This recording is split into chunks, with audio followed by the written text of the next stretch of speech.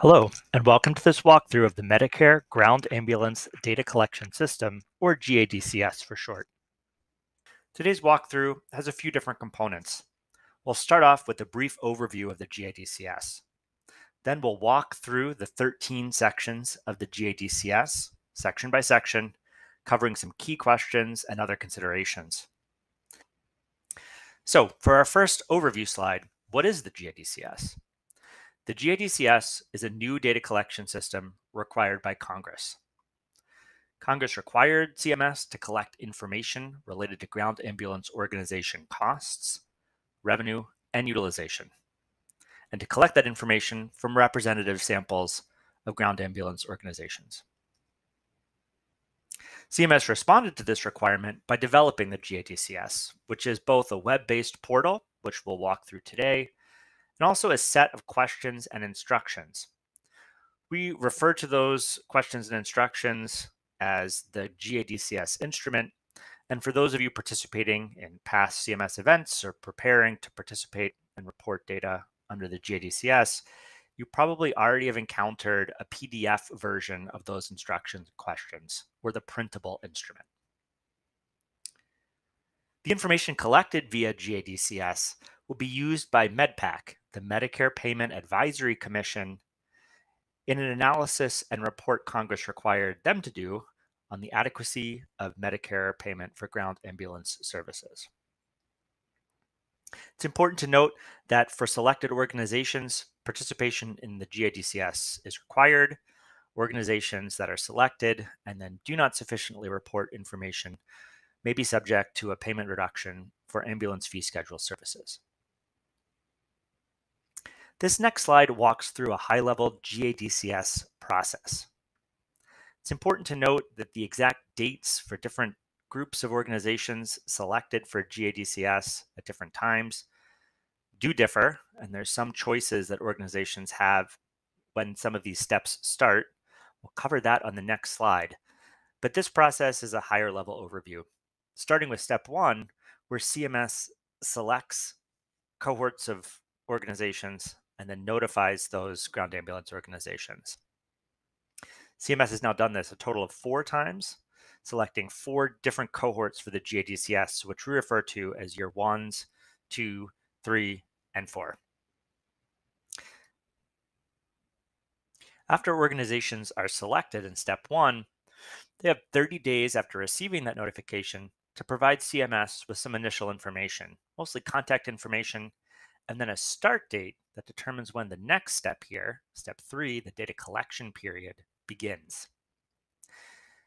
Step three covers a continuous 12 month period, so a whole year where organizations are collecting information but not actively reporting any information to CMS. Towards the end of that continuous 12 month data collection period, organizations will get set up to start reporting data through the web based portal. That involves getting a user account and linking it to your ground ambulance organization. When the 12 month data collection period does end, it starts the clock on step five, which is a separate five month period during which ground ambulance organizations can report information via the web based portal, certify those responses, and then complete their submission. In step six, Selected organizations that have not submitted a sufficient response by the end of that five month period will receive notification from CMS. The end goal, as I mentioned earlier, is for the data collected via GADCS to go to MedPAC to inform their analysis and recommendations in their report to Congress. As I mentioned earlier, CMS already selected four groups of ground ambulance organizations to participate in the GADCS, year one, two, three, and four ground ambulance organizations. As you'll see at the top of this chart, organizations in years one and year two have data collection periods, which are those 12 month long yellow bars that now coincide, and cohorts for year three and year four also have coinciding 12 month data collection periods in yellow that start 12 months later. You'll also see that year one and year two organizations will report information over overlapping five month periods, as will year three and year four organizations. It's important to note that organizations have a choice of when to start that data collection period, and that has downstream implications for when the five month data reporting period will also begin.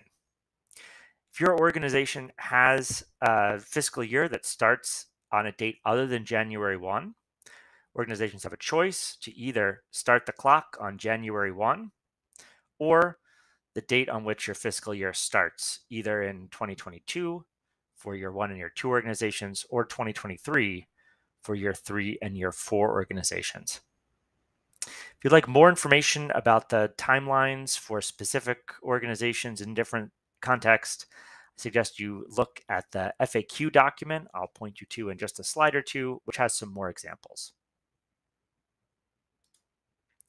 This next slide provides a quick overview of the 13 GADCS sections that we are going to walk through during the rest of the session today. The first three, one, two, and three, general survey instructions, organizational characteristics, and service area have to be completed first when you log in to the web-based portal and must be completed in that order.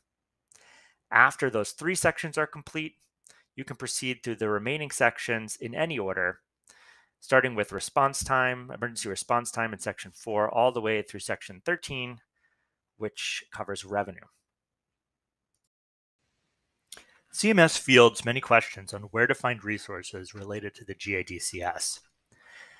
The URL at the top of this screen links to the CMS GADCS website.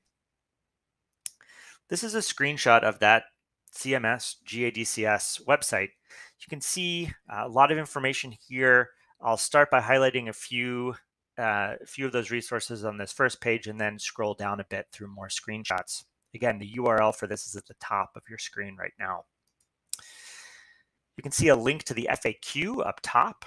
It's a PDF document organized by section. There are lists of ground ambulance providers and suppliers that have been selected for GADCS in years one, two, three, and four. And there are also links to that printable version of the instrument I mentioned in English and Spanish. This is the currently posted PDF of the English Medicare GADCS instrument. And as I scroll through, you'll see that the instructions that you'll see in the actual web-based instrument are all here, along with all of the questions you'll be asked along the way. So this is section two on the screen now, and section three, and so on. So if you'd like a sense of the questions before you're able to get into the system, the exact questions and all of the instructions are here in this PDF document.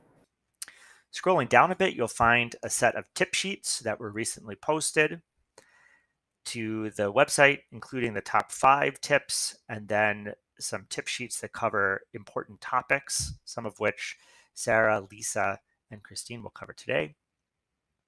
And then uh, down below, under the Other Resources heading, there's a link to that GADCS user guide. There's a link to the facilities and vehicles templates that you can use optionally to import some answers in uh, two of the sections in GADCS that we'll cover later.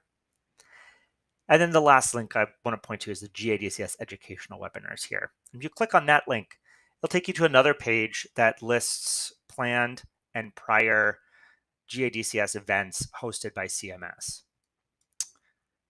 Just scrolling down to a couple of the past events, I'm going to highlight two. Um, the first one is December 8, 2022, and this is a session overviewing, providing an overview of the data submitter role. The next week, CMS hosted on the 15th a ground ambulance data collection system webinar on the overview of the data certifier role. I won't get much more into those two specific roles today. To encourage you to take a look at those two videos. I am going to paraphrase some of the key points from the start of both of these videos on how to get into the system in just a second. But some of the technical issues around creating an account, linking to your NPI, uh, getting help on the IT and system side, I recommend you check out these two other sessions, which will provide much more information than we'll be able to go through during uh, today's session.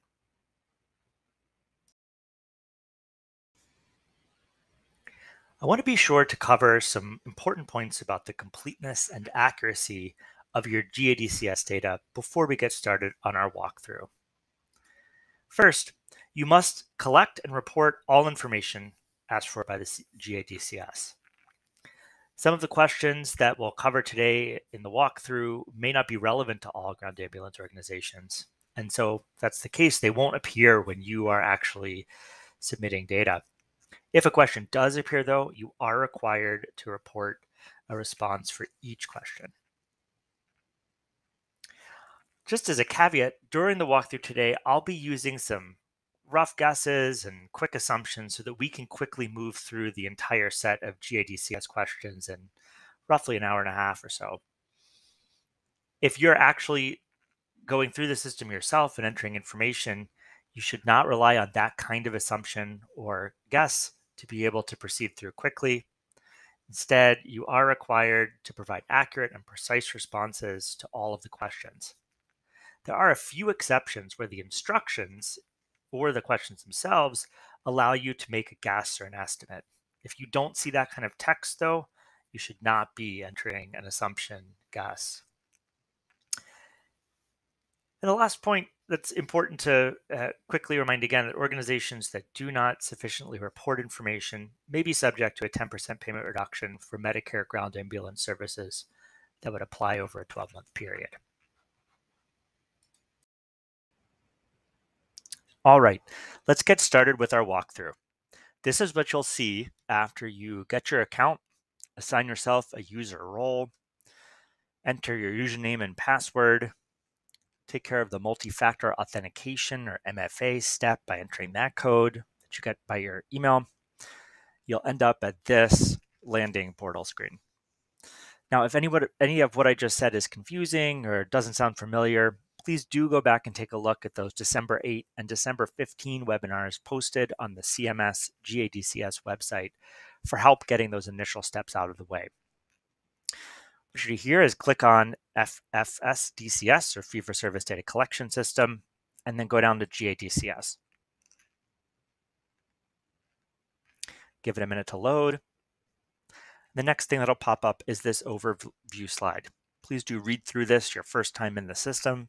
We covered all of this material earlier during this walkthrough. And the figure down at the bottom shows where you are at this point in the GADCS process using the same kind of step-by-step -step figure that we talked through just a couple minutes ago. You can see that step five is highlighted right here. So when you're coming into the GADCS system, you're at the point where you're, you are going to report information for one or more NPIs. So hit start or the close button to move forward here. And the first thing you'll do is to link your account to one or more NPIs. As a reminder, your NPI or National Provider Identifier is a 10 digit number that uniquely identifies your organization. CMS assigns organizations and individuals NPIs via the National Plan and Provider Enumeration System or NPPES you have questions about your NPI or are curious about what information's linked to your NPI, you can go to the NPPES website at nppes.cms.hhs.gov. For the purposes of the walkthrough today, we'll assume you're just entering information for one NPI.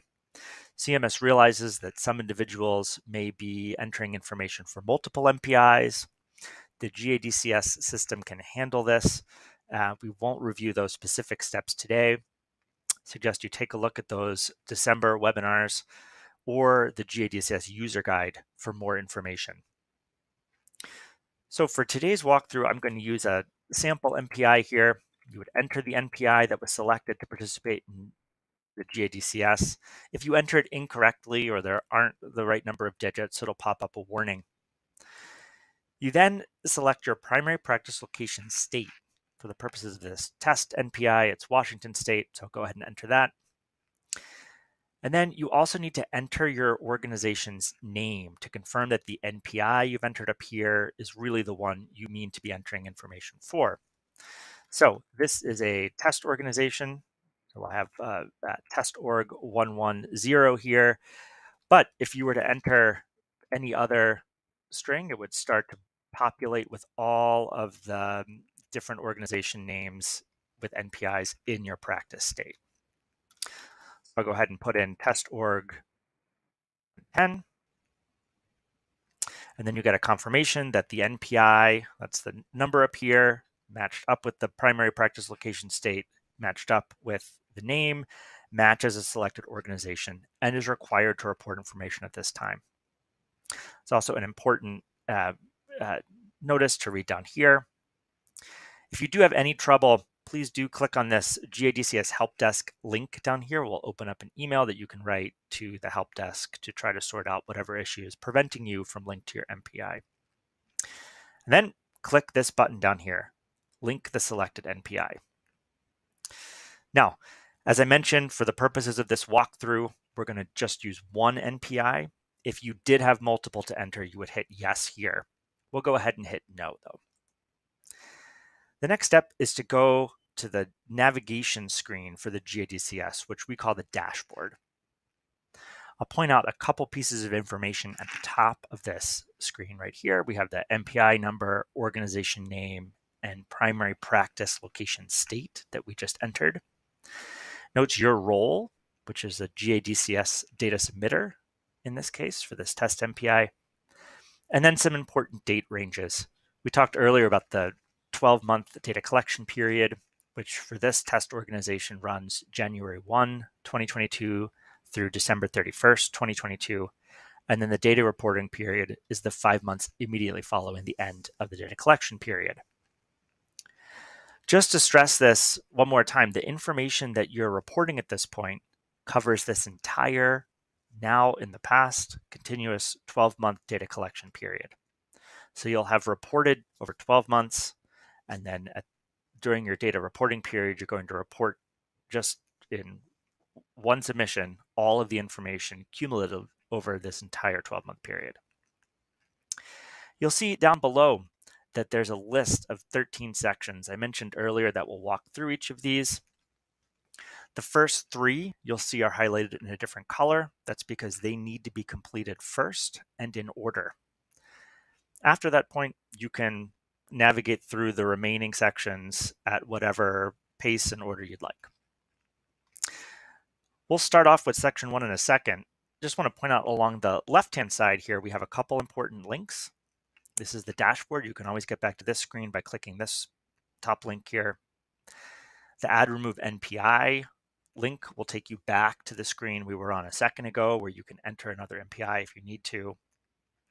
There's a hardship exemption request form, an informal review request form, and then this link takes you to GADCS resources, which cover many of the resources we talked about just a couple minutes ago. They're available on the CMS GADCS website. They're also available via links from within the system using this link here. This overview button will pop back up that overview slide that we had up on the screen a second ago. So let's go ahead and start in section one, which is general instructions. You can either click start here or start down at the bottom of the screen. I'll start here. Now, section one covers general instructions. Many of you who have flipped through the printable version of the instrument will notice that this text is exactly the same as um, is at the start of that printable instrument here. Please do read through these general instructions.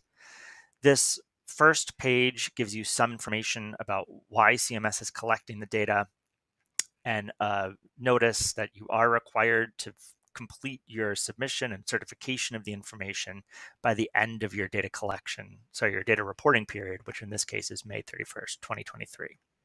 So you'll click you verify you've read that, hit next. This next page um, has some important general rules and points of advice on the GADCS. So we do encourage you to read through this at least once. Uh, you can find a link to the downloadable uh, printable instrument here. That's the same file that's on CMS's GADCS website, and also a link to that website here in case you need to find other resources. All right, and the last screen here is a reminder that that GADCS resources link off to the left of your screen in the navigation bar um, will get you to many of the other resources we've talked about. I do want to highlight this bold sentence here. Um, the questions that you'll answer in sections two and three, which we'll go through next, include some what we call screening questions or questions you'll answer at the start of the GADCS that determine the what which specific questions and even sections in some cases you'll see later on in this in the GADCS. So you know, as an example, uh, if you answer in one of the initial questions that you have volunteers working for your organization, then in section seven, which is labor costs down the road, you'll see questions pertaining to volunteers. If you answer no, then you won't. So as a general rule, you should answer the questions in sections two and three once at the beginning of going through the GADCS, and then do what you can not to go back and change those answers. If you do change those answers, for instance, if you said, no, we don't have volunteers, then complete your data entry and then went back to section two and changed your answer to yes, we do have volunteer labor, then that would insert a new set of unanswered questions in section seven you'd need to pay attention to before you could complete your submission and certify your organization's response. In the other direction, if you answered yes, we do have volunteer labor, you entered information about volunteers at your organization in section seven, and then later went back to section two and changed your answer to no, that has runs the risk of removing some of the information you've already submitted in section seven around volunteers. So there are pop-up warnings that will appear just to make sure if you are going to change an answer that could affect some downstream questions that you're going to do that in such a way that uh, uh, where you know that might wipe out some of your prior responses. We'll turn back to a couple of these specifically uh, in a minute or two, but this is an important flag that your answers in sections two and three have some important links to questions and sections later on. So let's move on to section two. Just as a reminder, there are two ways to navigate here. One, you can just hit next section here at the end of each section. We'll just take you to the next one. You can also return to the dashboard at any time. So let's do that now. We'll just hit dashboard. You'll see it the system automatically saves your progress as you proceed. We've now gone through section one, so it will mark section one as complete. You can always go back and review section one if you'd like, but now you can go to section two. You can hit start here. You can also, if you do hit review, take you back here. You've already verified that you've read, so we can proceed through these screens. And then instead of going back to the dashboard to get to section two, you can also just hit next section and it will start you on the first page of section two. So let's get started with our walkthrough of section two, which covers organizational characteristics. This section shouldn't take more than a few minutes to fill out. It's a set of general questions asking about how you view your organization, how you would describe it to others. In some cases, there are questions that ask about what kinds of services you provide, both in terms of ground ambulance services and other services. Just a couple reminders before we get started. First one is that when you answer questions in section two and the questions in all of the sections of the GADCS, you should keep in mind what your organization looked like or how you describe it in the 12 month data collection period that has now passed. So, in other words, if your organization maybe changed its set of services provided between last year and this year, something changed, say January 1st, 2023, you'd be responding to these questions as you would back in 2022, not in 2023. So that historical look back to the now completed continuous 12 month data collection period is really important and will affect the answers some organizations will provide in Section 2 and throughout the GADCS. Another quick reminder this is the second of three sections that you do need to submit in order. So you'll after right after doing the instructions end up here and then report on your service area before you'll be able to jump around the remaining 10 sections. And finally, just as one more one more reminder, changes that you make to your responses to questions in section 2 and section 3 can have implications for the information you've already entered or if you haven't gotten there yet, the questions you'll see in later sections. So if you do go through, complete a section, and then change an answer in section two, you may need to revisit those sections.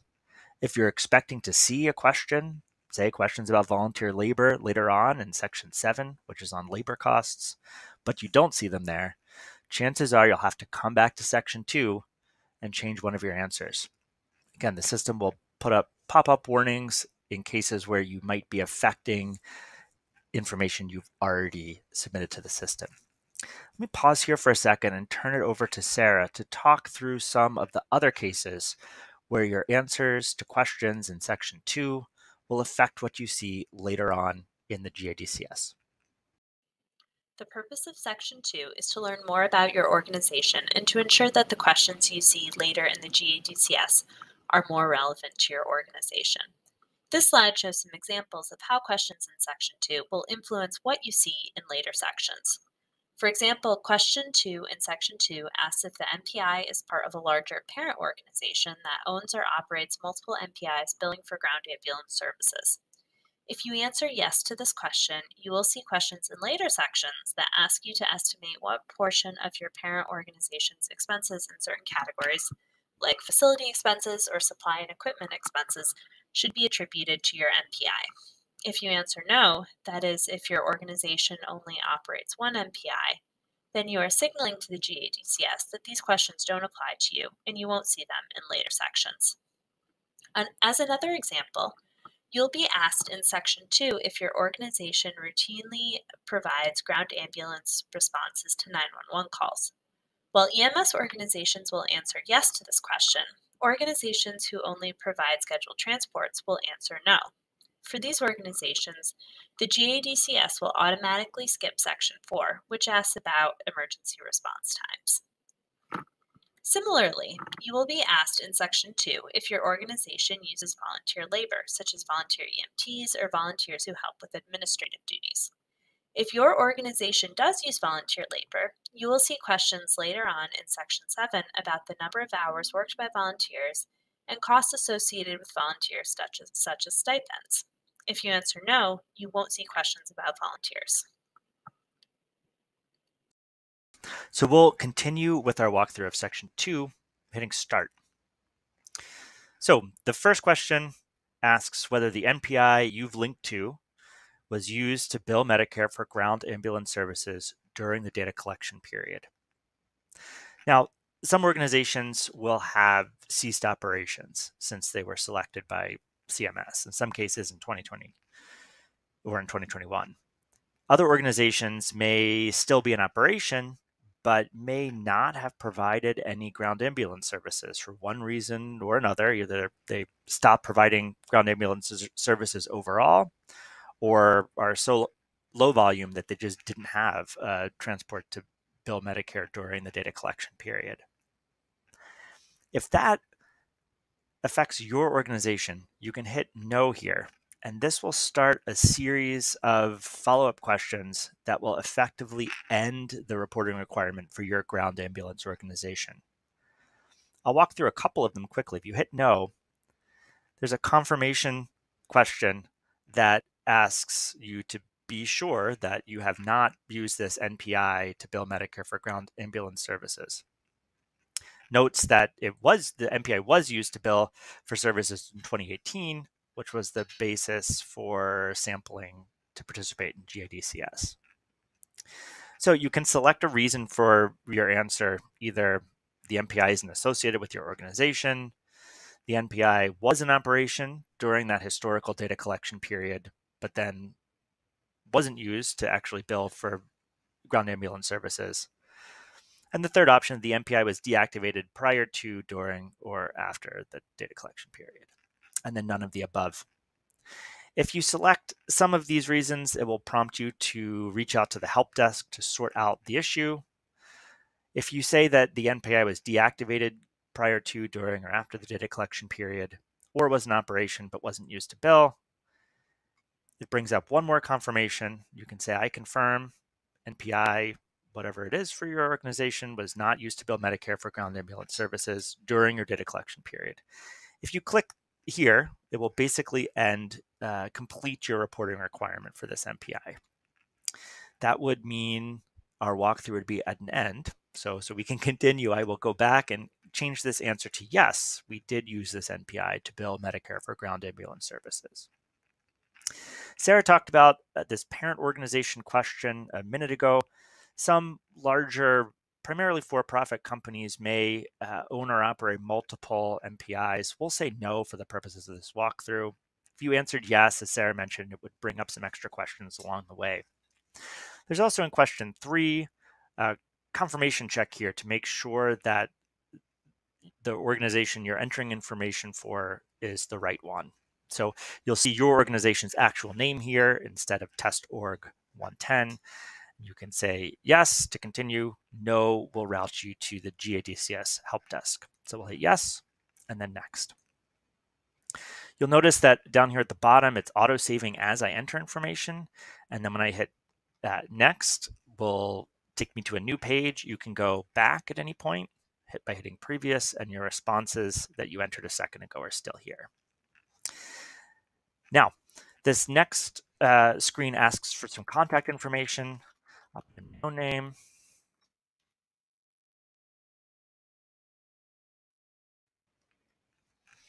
and then I'll say that um, uh, leave my extension off. You can put that here.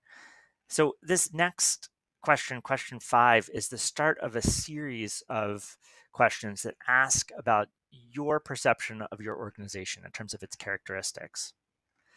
There are no real right or wrong answers here. Uh, there are some combinations of answers that CMS thinks will be unlikely.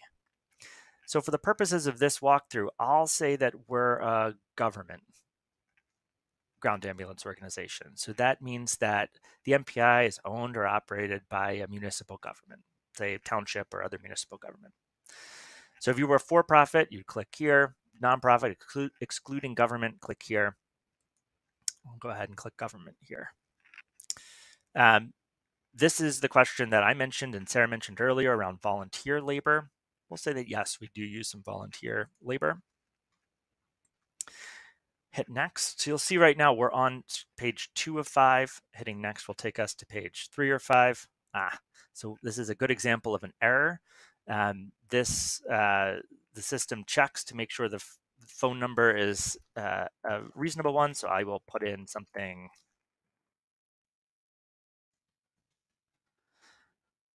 And I'm in Philadelphia, which there we go. Okay. So now we're on page three of five.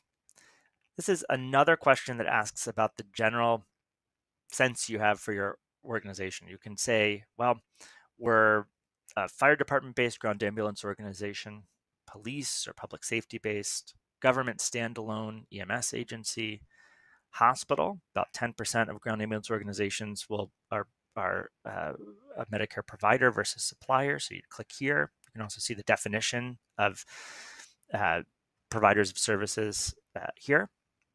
An independent or proprietary organization primarily providing EMS services or non EMS services or other. Please do use other sparingly. Um, for the purposes of this walkthrough, we said a slide ago, a page ago rather, that we were government based. So we'll be a government based, also fire department, joint fire department ground ambulance organization. Question eight asks whether your ground ambulance organizations shared operational costs, such as building space or personnel, with a fire department. This is a good question to uh, think through carefully. If you answer yes, you'll get some additional instructions along the way to be sure you're reporting information just related to your ground ambulance operations rather than combined, your ground ambulance and fire operation. If you say costs were not shared, then you won't see quite as many instructions. It's still important to keep in mind the fact that you should be reporting information only relevant to your ground ambulance operations. So if you are a fire department based ground ambulance organization and you have, say, separate budgets from your municipality, you might want to click costs were not shared here. But just be sure that none of the information in terms of utilization, cost, or revenue you're reporting crosses over and starts to capture costs or revenue or utilization related to your fire department operations. So I'll say yes, we share some or all costs. And then question nine asks, well, besides the fire department operations we already reported in seven, is there anything else that your organization provides in terms of services? So this is where organizations that do uh, that provide a variety of services could check off one of these other operations. I'm going to go ahead and say none here. That'll move us on to page four of five. Question 10 asks whether your organization routinely provides ground ambulance responses to 911 calls for emergency calls. I'll say yes. Do you operate land based ambulances? I'll say yes. Do you operate water based ambulances? One important note this is referring specifically to water based ambulances, not rescue vehicles that might be, uh, might be boats uh, that would then be used to get a patient to a ground ambulance for transport to the hospital. So I'll say no here. I'll say no to air ambulance. If you do operate air ambulances, it's a great example of um, type of service that is explicitly excluded from the GADCS. So if you answer yes here, you would see instructions along the way reminding you not to include any expenses or revenue related to air ambulance. Hit next and then go to our last page here for section two. There's a um, question about deployment model. So you can have static, dynamic, or combined.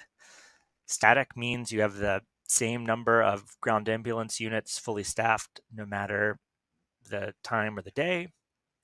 Dynamic means that there's some variation over time, and combined means that it's a mixture of the two. I'll go ahead and say combined. Question 15 asks if you provide around the clock, 24 7, 365 service uh, in terms of emergency responses in at least some of your service area. I'll go ahead and say yes. These next couple of questions relate to paramedic intercepts. So this would be where there's a joint response and your organization or another organization is providing labor, say paramedic labor, and uh, the others providing uh, uh, actual ambulance vehicle. Medicare's definition of paramedic intercept is very specific and as of January 2023 applies only to certain organizations in the state of New York. So our imaginary test organization here is in the state of Washington. I'll click no. And then question 17 asks, other than CMS's formal definition, do you ever deploy ALS emergency response staff like a paramedic as a joint response to meet a basic life support ground ambulance from another organization? I'll say no here. If you said yes, then in a couple sections, there are some questions about the frequency of that happening. This last question in section two uh, is a relatively new one. CMS added it to the GADCS as part of this past year's physician fee schedule uh, final rule. And it asks whether your organization broadly contracted, contracted out core ground ambulance functions like whole ambulance units or EMT staffing as a whole. The purpose of this question is to try to align instructions later on to organizations that really do pay a single amount to another organization to effectively provide their entire EMS service or a very broad swath of important inputs like all of EMT staffing. So I'll hit none of the above here. It's relatively rare for organizations to, to need to click one of these two options, but if you do pay a flat a flat amount uh, through some contractual arrangement to another organization to basically respond to EMS calls for service on your behalf and then bill under your NPI, you might select one of these two top options. I'll hit none of the above. And again, now we're at the end of section two. We can return to the dashboard or click on next section. I'll go ahead and return to the dashboard and then we can navigate through section three.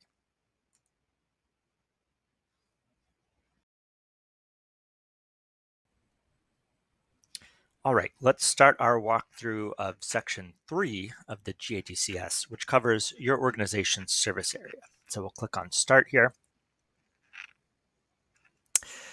Some instructions at the uh, start of this section that has a definition of two terms. So I'll talk about them here briefly, and then we'll see how they play out in terms of questions. The first one is primary service area. And CMS defines a primary service area as a geographic area in which you're exclusively or primarily responsible for providing service at one or more levels and where it's highly likely that the majority of your ground ambulance transport pickups occur.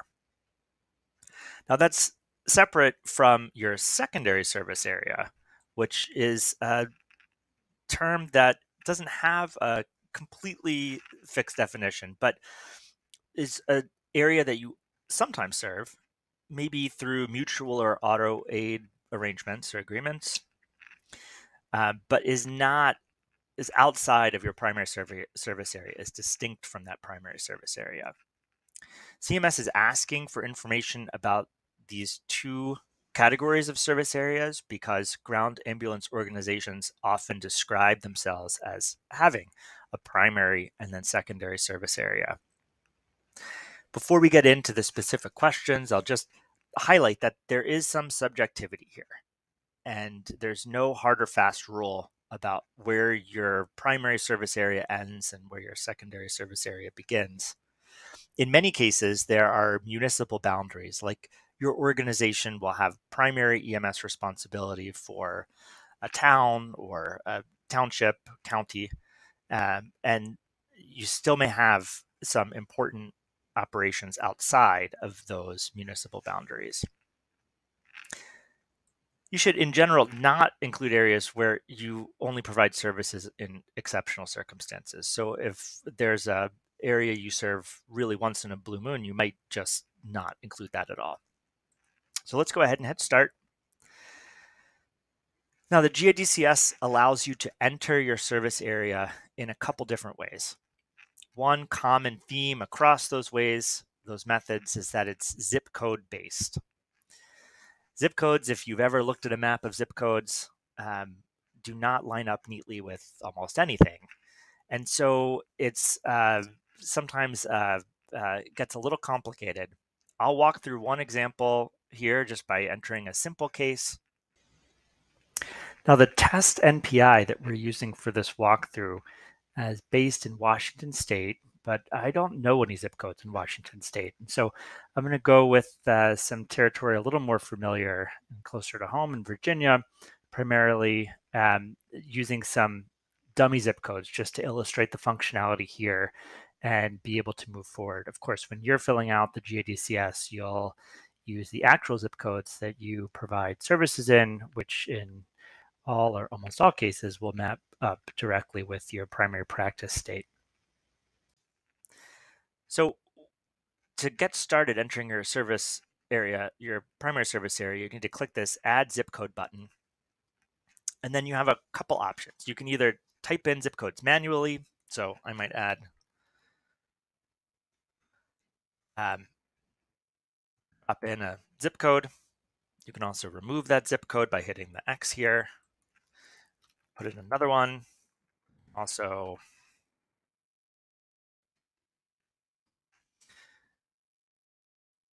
two at a time, and then remove one or the other. So you can go back and forth here before you actually add anything. This is a preliminary step to find the zip codes you want to add. To actually add them, you click this add button down here. And if you do that, you'll come back to this screen and see that your primary service area is now defined as one zip code. You can use a combination of different approaches, typing in. You can also look off of a list. So let's go ahead and click add zip codes again. And instead of clicking on type in or enter the zip code manually, we'll click on select the zip codes and uh, by state and county from a list. The NPI we're using for the walkthrough is from Washington State, so we'll go ahead and select that. And the county, um, the two zip codes that we've entered individually before are in Whatcom County, so we'll go ahead and select Whatcom County. And then over here under zip code, if you hit the down arrow, you'll see all of the zip codes in Whatcom County uh, listed out, and then a check all button. If you do click check all, it'll just select all of them for you you'll see there are 14 total zip codes in the county. Hit enter, and you'll see it says only 13 of those 14 uh, were entered, and you get this yellow message up here saying that basically we had already entered one by hand, 98244, and so it's going to add for us the 13 that we had not already entered. You could go in here and um, you know edit before you actually hit the add button, and let's say this one 98295. We actually don't provide services to take us down to 12. We can add those. The 12 we just entered plus the one we already had in there brings us up to a total of 13 zip codes. And uh, we'll say this is the scope for our Washington based ground ambulance organization. We can hit next to move on uh, to the next page It's a couple follow up questions. So, for your primary service area, this question two asks Are you the primary emergency ground ambulance organization in most or all of your primary service area at any level? I'll go ahead and say yes. And then question three asks What's your approximate average trip time in minutes across all service levels? It's important to note that this question is specific to your primary service area. So think about just average trip time in that primary service area, town, county, whatever it might be per your responses in the prior page, think about the average trip time in that primary service area. This is some organizations would call this time on task. So this is the uh, the total time from the start of a response to when the unit's available to respond to another call. Go ahead and say 30 to 60 minutes. Now, this next question is a fork in the road for section three. The question asks whether you have a secondary service area. Not all organizations will think of themselves as having a secondary service area, so it's perfectly fine to answer no to this question, and you'll move on. If you do have mutual or auto aid arrangements or other arrangements where you leave that primary service area to provide services in another area, an adjacent area, you can go ahead and hit yes. And I'll go ahead and hit next. Now, we're back to where we were uh, uh, two pages ago for the primary service area. Now, though, the question's asking about the zip codes for your secondary service area the process here is very similar. I'll go ahead and select the zip codes by state and county, and uh, we'll go back to Washington here, and then pick an adjacent county. So San Juan County. And let's say that our organization does uh, mutual or auto aid for that entire county. We just hit select all, five zip codes, hit enter, add, and then we can uh, hit next to submit this as our secondary service area for this organization. And then there's a similar question about average trip time. Important to recognize that this question is asking about your secondary service area, not your primary service area.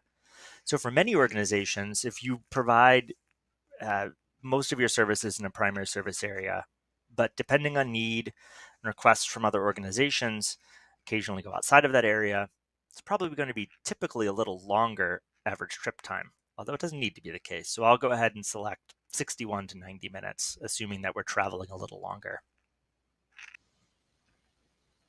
I'll turn it over to Christine to go through a couple examples of how to report your primary and secondary service areas in GADCS using zip codes. If your organization has a secondary service area, you can report some of the same zip codes for your primary and secondary service areas. Here are two examples. The one on the left is an example where an EMS agency considers its own township in dark blue as its primary service area. And it considers the next township over in light blue, where it has a mutual aid agreement, as a secondary service area. There's a boundary between zip codes that runs right along the border between the two townships. Therefore, in this scenario, it's easy to report that one zip code is the primary service area, while the second zip code is in the secondary service area.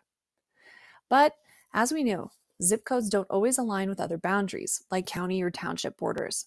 If the zip code boundary crosses over two townships, like in example 2, you can report both zip codes as part of your primary and secondary service areas.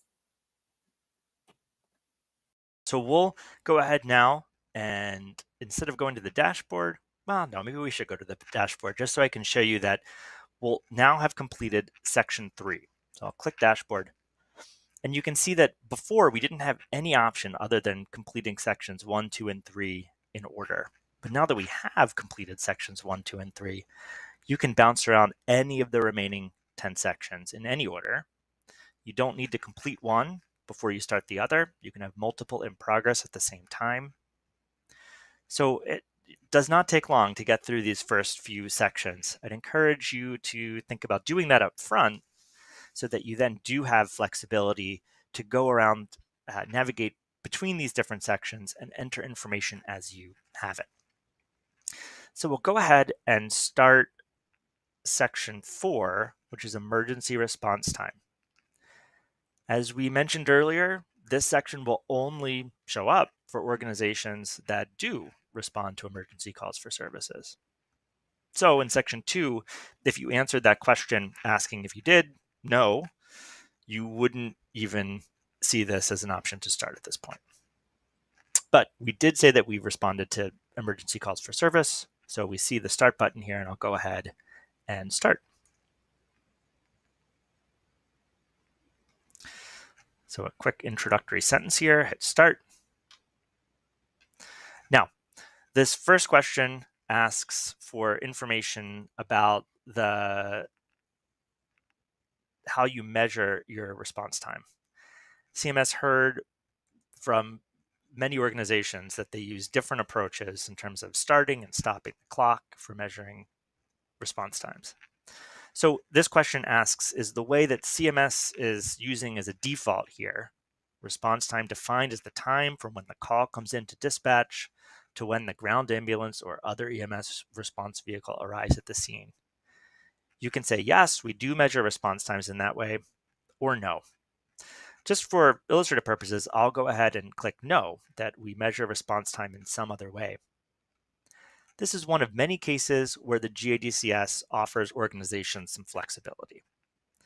You can tell CMS how you measure response time and then continue to use that approach and to report information through Section 4 using that approach rather than having to adapt and use a new definition. So in question two, there are a couple of pre-populated examples here, different common ways that CMS has heard organizations measure response time. If neither of those fit, you can hit other and write in your own. I'll go back and hit yes, though, just so we can move forward. And that's page one of three for section four. Page two asks about statistics and your organization's ability to report statistics about response time as measured by your organization. So this first question asks, do you have the ability to report detailed statistics on response time? If you answer yes, then you'll have questions framed uh, asking you for specific numbers.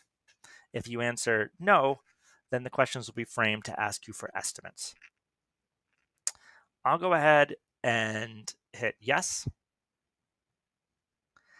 Now, this populates a set of questions first one here, 3B asks, what's the average response time for ground ambulance emergency responses in your primary service area? The emphasis on primary here, you'll see down in 3D, there's a separate question about your secondary service area.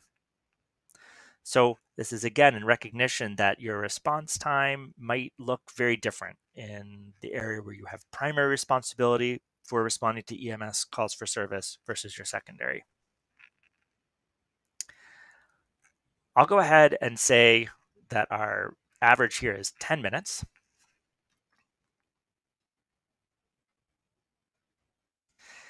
There are rare cases where an organization might only respond to emergency calls for service in their secondary service area. Or maybe cases where you never respond to emergency calls for services in your secondary service area, but only in your primary service area. So there are these not applicable checkboxes you can use if that applies to your organization. CMS thinks this will be very rare though. So if you're an EMS organization providing uh, responses to emergency calls for service in your primary and secondary service areas, just leave these unchecked. Now this next question 3C asks you to estimate the share of your responses that take twice as long as the average you just reported in 3B. So the average you reported in 3B is 10 minutes, so twice that is 20. Question 3C is asking, what share of your responses take more than 20 minutes? Let me pause now. I'll turn it over to Sarah to go through uh, the calculations that organizations can use to come up with some of these responses. This section asks you to report the average emergency response time in your primary service area and the share of responses that take more than twice the average response time. This slide breaks down examples of how to calculate responses for both questions. On the left, this example shows how to answer question 3 on your average emergency response time. This hypothetical ground ambulance organization has 10 total responses during their data collection period. To get to the average response time, you add up all of the response times and divide by the number of responses, in this case 10, for an average response time of 5 minutes. On the right, to determine the share of responses that take more than twice the average, you multiply 5 minutes by 2, which equals 10 minutes. In this example, only one response, the one that took 12 minutes, is greater than twice the average. Therefore, the organization would report that 1 out of 10, or 10% of responses, take more than twice the average.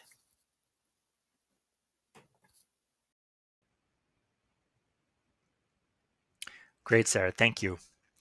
So I'll go ahead and enter that 15% of our responses take twice as long as this average or twice as long as 20 minutes. For many organizations, this percentage may be small. CMS is asking for this information because CMS recognizes that there are some responses that will take substantially longer than the average that you report in 3B. Now, 3D asks you for your average response time for EMS responses in your secondary service area. As with average trip time, this is probably going to be a little longer in terms of average response time in your secondary service area compared to your primary service area. I'll go ahead and enter 20 minutes here. There's a box down here that says questions 3E, F, and G are not applicable to your organization. You would have seen questions 3E, F, and G if you had answered no up here to this initial yes no question under question three.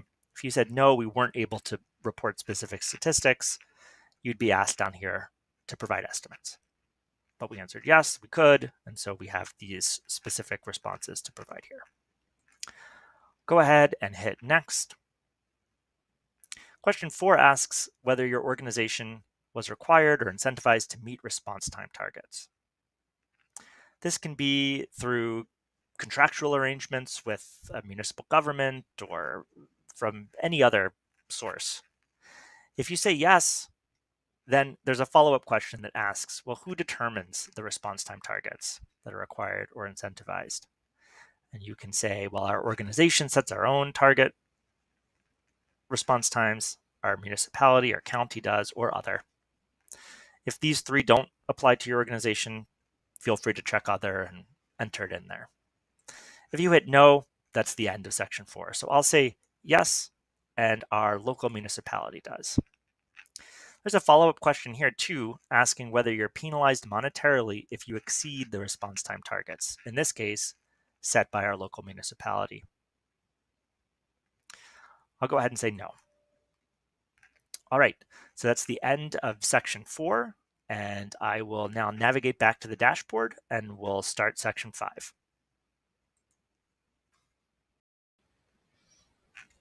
All right, so now we'll go from the dashboard and get a start on section five, which covers ground ambulance service volume. Section five runs pretty directly into section six, so we may cover both of them um, relatively quickly together, just to give you a sense for the questions and the way that the responses in sections five and six work together. So go ahead and hit start. Very straightforward start page here. And then there's a series of questions asking you to report on the volume of different types of services. Now, it's always important to read definitions uh, when filling out an instrument like this. I would say the start of section five is one place where it is really important to read these blue boxes and the definitions in the boxes to remind yourself what exactly CMS is asking you to report here. There are some important differences between how organizations that are fire department based versus not, for example, will respond to these questions. This first question asks for your total number of responses.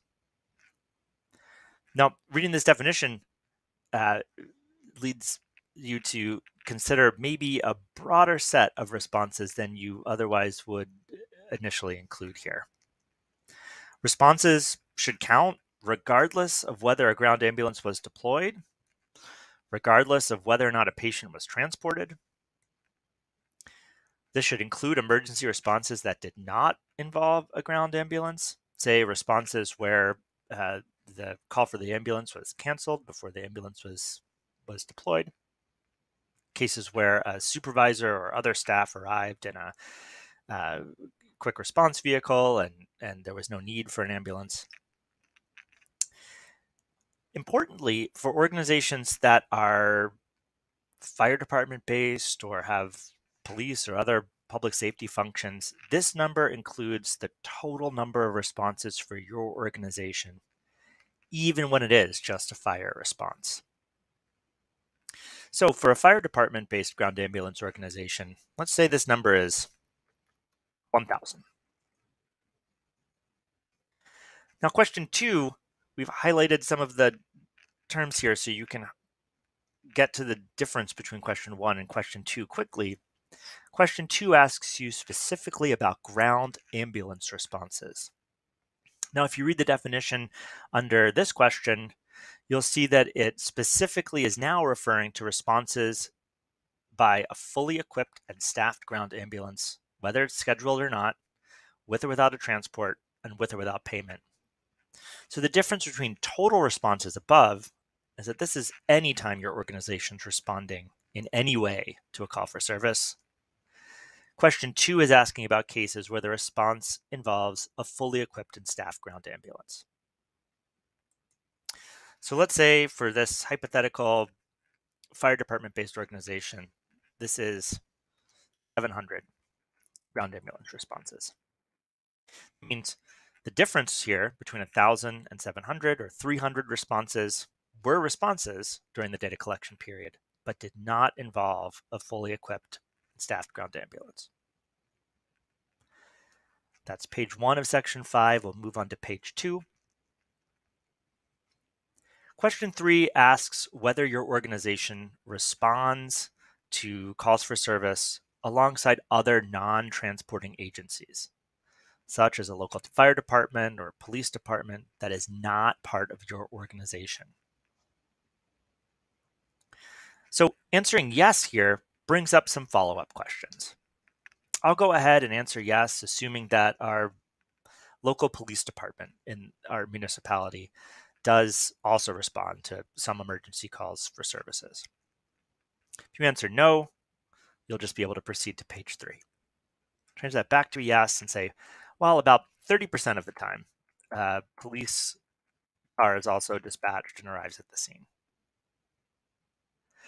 There's a follow-up question 3b that asks what kind of labor the non-transporting agency provides. So let's say that the police officer maybe is an EMT and also is a police officer. Just write in police here um, to indicate that it's a, a law enforcement personnel as well. And then this next question 3C asks, in what percentage of ground ambulance transports do you estimate the non-transporting agency continues to provide medical care in the ambulance? So let's say here, because it's a police officer, they may provide first aid, but they're not um, they're not uh, providing care in the ambulance during the transport. All right, we can hit next. Question four in section five will only appear if you reported back in section three that you have a secondary service area. So this question is asking of all of your ground ambulance responses, we said there were 700 on the last page, two pages ago. What percentage of those 700 are in your secondary service area? So let's assume that for our fire department based organization, of the 700 total ground ambulance responses, let's say that about 20% of them were in our secondary service area. Question five changes gears a little bit and asks of your total ground ambulance responses, what was the number that did not result in a transport? Now, CMS has heard many reasons why uh, ambulance might be deployed, but then a patient might not be transported, Ref refusals for service, unable to locate the patient, etc. So this is going to be a subset of your total ground ambulance responses. These are the ground ambulance responses that didn't result in a transport. We said two pages ago that we had 700 ground ambulance responses. So we're going to say here that 200 of them did not result in a transport, leaving 500 that did. 5A asks, of the ground ambulance responses that did not result in a ground ambulance transport, that's the 200 we just reported, what percentage received medical treatment on site? As we just mentioned, some share of these 200 may be patients that couldn't be located. So there's no medical treatment on site. In those cases, I'll just say 50% involved medical treatment on site. That takes care of page three of five for section five. Moving on to page four. Question six asks, what was the total number of ground ambulance transports for your organization during your organization's data collection period across all payer types and regardless of levels of service or geography? Just to illustrate the navigation features here, you'll see we reported two pages ago, three now actually, that we had 700 ground ambulance responses. And on page three, we reported that 200 did not result in a transport. So that means that roughly 500 did. I'll leave it to Christine to go through some of these details in a second, but there are some scenarios where the numbers will not exactly add up. The definition of a response for the purposes of GADCS says to count one response even if multiple vehicles were sent to the scene. But for transports, aligning with the way that claims might be submitted and paid, if one response with multiple vehicles resulted in multiple transports, you can actually have multiple transports stemming from one response. So these numbers will, for most organizations, be very close, but may not be exactly the same.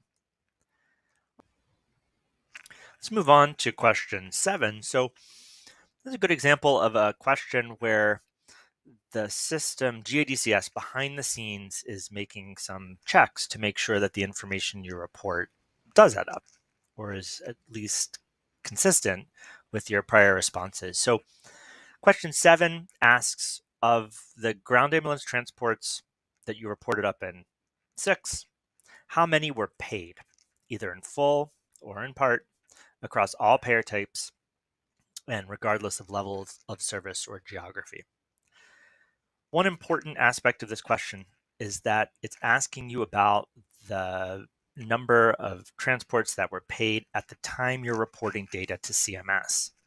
CMS understands that it can take months, years in some case, to be paid for a service you provide. So for this question, there's a specific reference back to the number of ground ambulance transports during your organization's 12 month data collection period, or this number 500.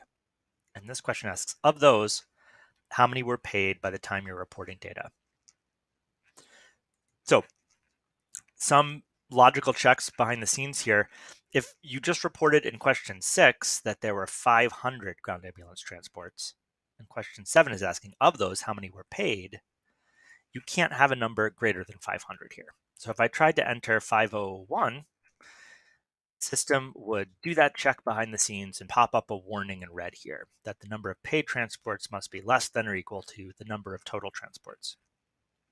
It would be very uncommon for the number reported here to be exactly 500. That means that every transport provided during the 12 month data collection period was paid by the time you're reporting data but it might be something like 400.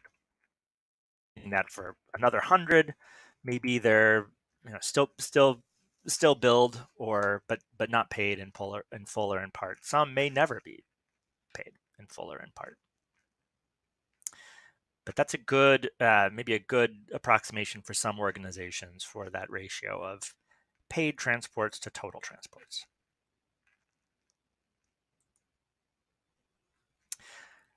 There's one question here on uh, section 5, question 8, page 5 of 5, that asks if you participate in standby events. We'll go ahead and say yes here. And you'll see for this organization, question 9 and question 10 are not presented. And you'll see when that happens with one of these blue pop-up boxes here, just to let you know that there is a question that you might have seen on the printable instrument that you're not going to see in the web-based instrument. Questions 9 and 10 ask about paramedic intercept using um, CMS's formal definition and a slightly broader definition.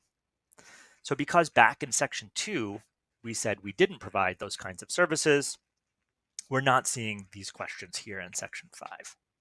It's another great example of a case where if you expected to see those questions and you don't see them here, you could go back to section 2 and change your answer to yes, and then come back here and see them.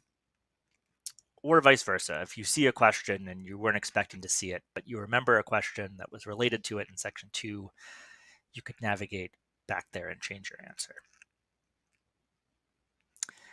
I'll pause here and turn it over to Christine to go through some examples of the way that the different responses to questions in section five should align with one another. Here is an example to show the relationships between service categories. In this example, this hypothetical public safety ground ambulance organization had 1,000 total responses, so the organization reports 1,000 for question one. Some share of these will involve a ground ambulance and will contribute to the number of ground ambulance responses. By definition, this number will be less than or equal to reported total responses. In this case, the organization had 600 ground ambulance responses, which the organization reports in question 2. The difference between 1,000 total and 600 ground ambulance responses might be due to a range of reasons. For example, since this is a public safety organization, some of the responses might have only involved a fire truck or police car and not a ground ambulance. Non public safety organizations will likely have a similar number of total and ground ambulance responses. Moving over to the third column, The number of ground ambulance responses that do and don't result in a transport should be equal or greater to the number of ground ambulance responses. In this case, of the 600 ground ambulance responses, 450 calls resulted in a transport, and some of the calls involved multiple transports, for a total of 485 transports. 150 calls did not result in a transport. The 150 might reflect refusals for transport, cases where a patient could not be located, or cases where medical treatment was administered at the scene.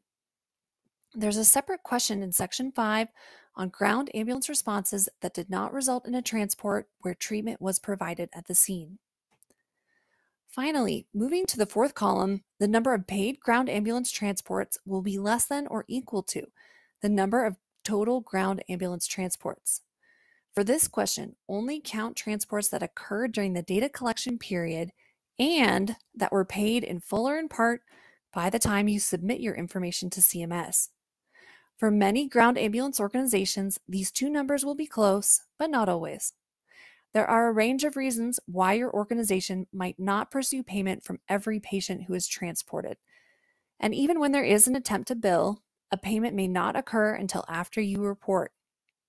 In this illustrative example, the ground ambulance organization was paid in part or in full for 425 of the 485 ground ambulance transports.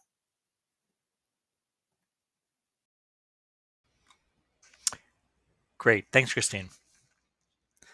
So I'll go ahead and return to the dashboard and we can move on to section six, which covers service mix. So section six, quick introduction here saying that it's digging into the way that your mix of ground ambulance responses and ground ambulance transports might vary across type. There are some questions that allow you to estimate a range here. Just as a general rule, and this was covered in the basic instructions up in section one, but as a general rule, you are required to provide specific responses to these questions throughout all of the sections of the GADCS, unless, as in some cases, there are exceptions where the wording of the question specifically allows for an estimate. It's also important to keep in mind as you respond to these questions that if you didn't have any services in a particular category as you're responding to these questions, rather than leave it blank, enter a zero, 0%. That way, the GADCS system can do the math behind the scenes to know that you're reporting numbers that add up to 100%. If you just left it missing, then there would be no way to be sure. So we'll go ahead and hit start. Great. So question one in section six asks about the breakdown of your ground ambulance responses in two categories, emergency versus non-emergency. This blue box here includes the definition for emergency and non-emergency services from Medicare's point of view. Again, if you didn't have responses in one or the other category, be sure to enter a zero just to highlight how this would work again, if you put, uh, let's say we put 100 for emergency and then anything else down here, and then try proceed, you can see that the system will check behind the scenes and make sure that this number adds up exactly to 100%. So let's say our ratio for our hypothetical fire department based ground ambulance organization, government organization, let's say it's 80% emergency and 20% non-emergency.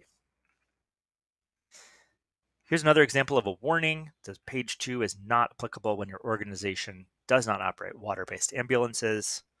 Back in section two, if we had indicated that we did operate water-based ambulances, then we would see a separate page two of four here in section six asking about the breakdown of responses from water-based ambulances. Go ahead and hit next.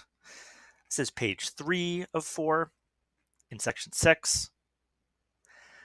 Now, this table asks us for a breakdown of our total ground ambulance transports across these different categories. These categories use the HCPCS codes from uh, CMS to distinguish between basic life support non-emergency or an AO428, emergency AO429, advanced life support or ALS level 1, emergency and non-emergency, AO426 and 27 respectively, ALS2, which is AO433, and then Specialty Care Transporter SCT, which is AO434. Couple of quick notes on this. One code that's not here is the mileage code. So that's uh, this is asking specifically about transports, not other kinds of lines you may have billed for. There's also a set of rollovers here to get to CMS's definition of these different types of services. If there are cases where you're not sure how a specific kind of service might compare, say these are services that you were paid for by a commercial insurer or by Medicaid, use your best judgment to categorize it into one of these categories. Now is a good time to remind everyone that the GADCS's scope is not just for Medicare. So while we're using the codes under Medicare's ambulance fee schedule here, your responses to this question and all of the questions should cover all of the services you provide to your community, not just to Medicare beneficiaries or not just those ultimately paid by Medicare. One other important note here CMS has heard from many organizations that billing companies may need to get involved in responding to a question like this one in a case where a company other than the organization itself is actually handling billing. So a billing company might provide regular reports of the volume of services broken down across HCPCS codes in this way. And that's exactly the kind of information that you might ask your billing company to provide so you can calculate these percentages. So we'll go ahead and say that, um, say we do operate an ALS level, and we reported earlier that we were primarily emergency uh, uh, compared to non-emergency. So I'll go ahead and enter 60% here, 10% here. So we don't have any ALS2 or SCT for this organization. So that brings our total up to 70. And let's say we'll split the BLS 50-50 across the remaining. Okay, so you can see that adds up to 100%. So fingers crossed, when I hit next, it should go through without any trouble. All right. Question four in section six asks, thinking across all of your ground ambulance transports, what percentage are interfacility? So patients might go from facility to facility for a variety of reasons. Uh, might involve um, uh, transport from one hospital to, to another, say. The CMS definition, the Medicare definition, is defined right down here in the blue box. So let's say that in our case, it's a pretty small percentage, 10%. That's the end of section six. I'll go ahead and hit return to the dashboard, and then we'll tackle section seven, which is labor costs.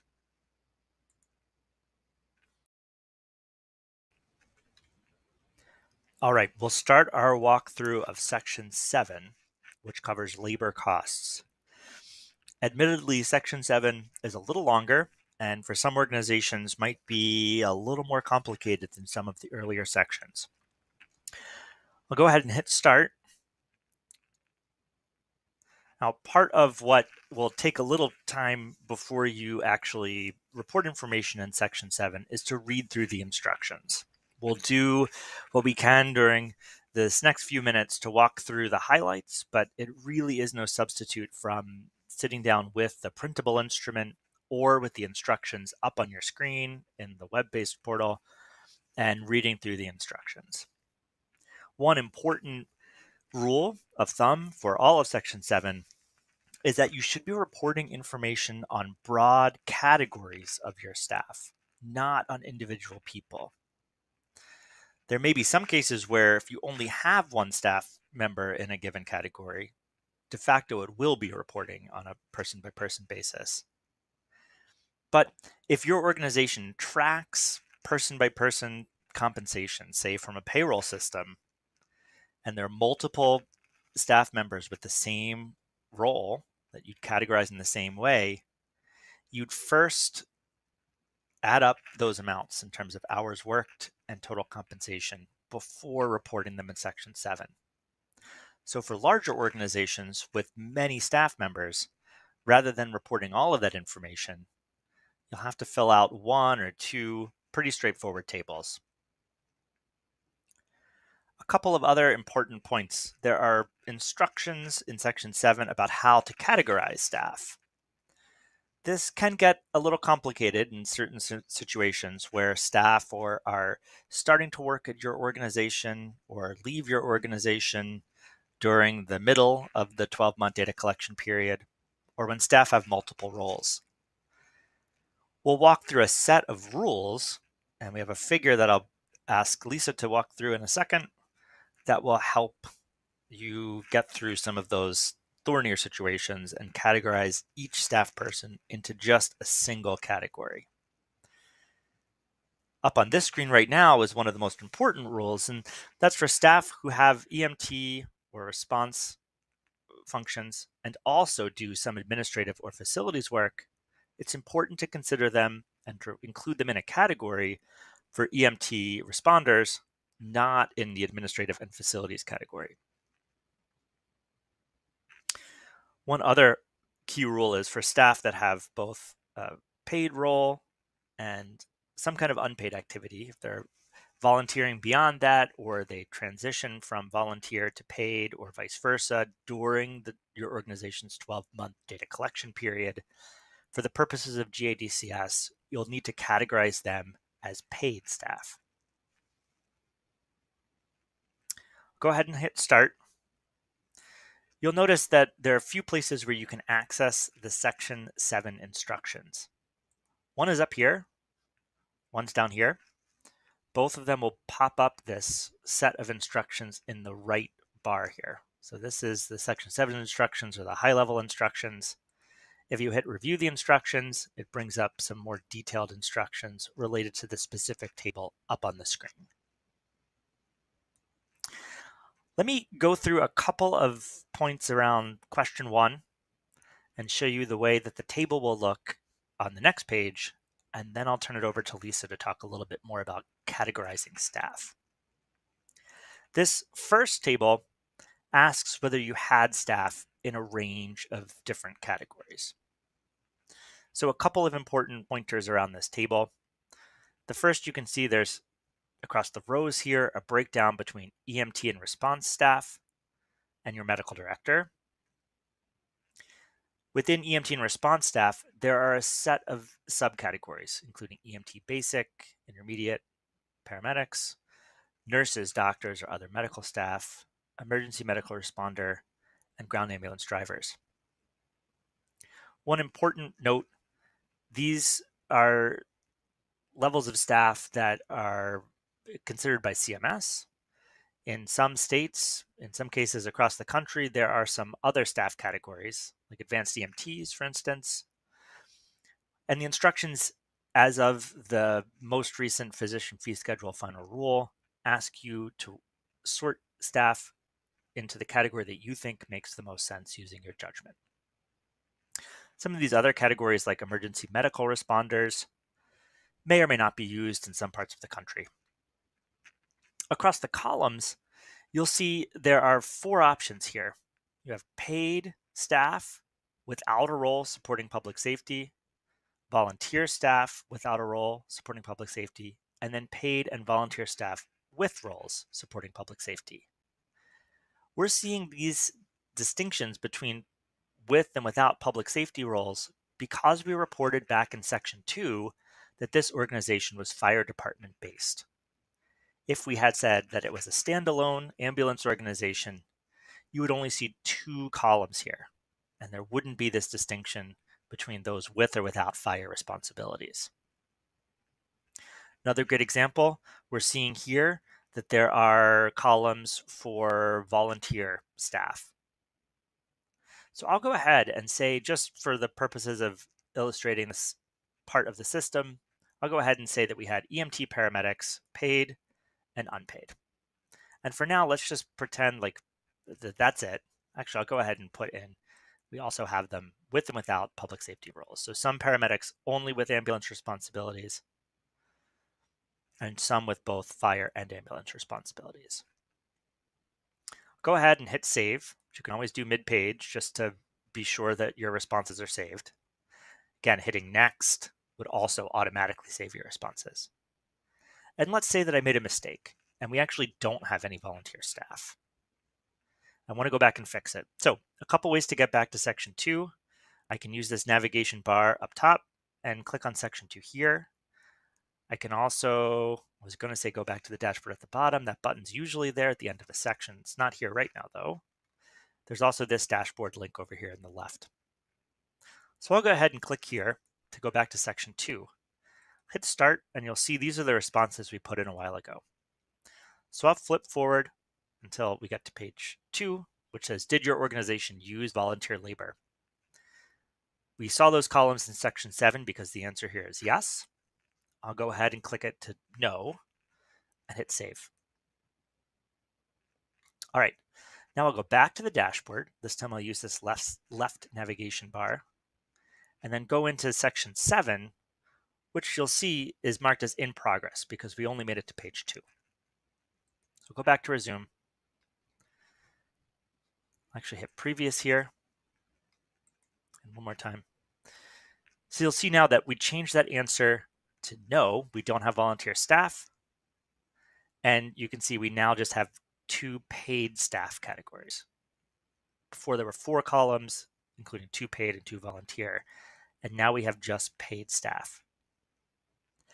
I won't go through this now in the interest of time, but we could actually go back to section two and change our answer to that question about having shared costs with our fire department because we're a fire department based ground ambulance organization.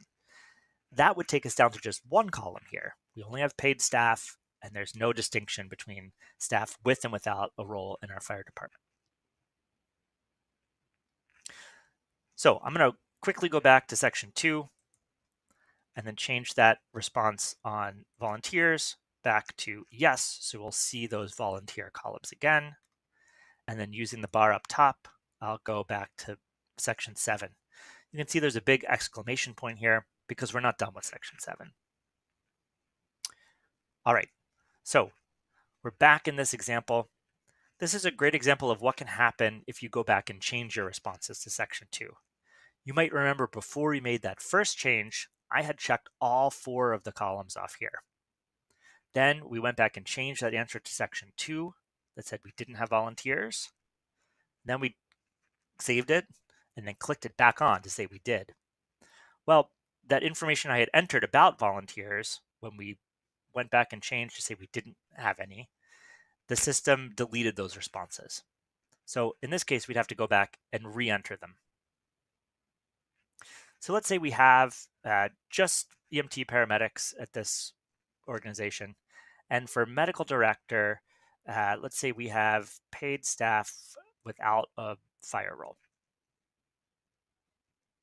All right, I'll hit next. Now this next page asks about administrative and facility staff. You'll see that there are a couple different categories here like administrative, clerical, HR, billing, IT support, management, dispatch call center, vehicle maintenance, facility maintenance, and other. If you do click other, it opens up a single free text field. You can enter whatever you'd like here, but please do just uh, keep it down to one one entry. They'll only let you add one row here. So if you need to enter multiple kinds of roles, you can separate them with semicolons. So let's say we have paid staff primarily on the administration side, and they support both ground ambulance and fire. We'll say we have a fire chief, some administrative staff, dispatch and call center. Just go ahead and click down the row there and um, then hit next. So there's some important considerations here around medical director. Um, there are a variety of ways that ground ambulance organizations have the medical direction uh, expertise they need and are required to have. If we had said we had not paid for a medical medical director, so I'll go back and say we actually don't have a medical director on staff, and then went forward again. The instrument will ask, well, does your organization contract with the medical director? This can happen sometimes if it's a fixed amount that your organization's paying for for a medical director.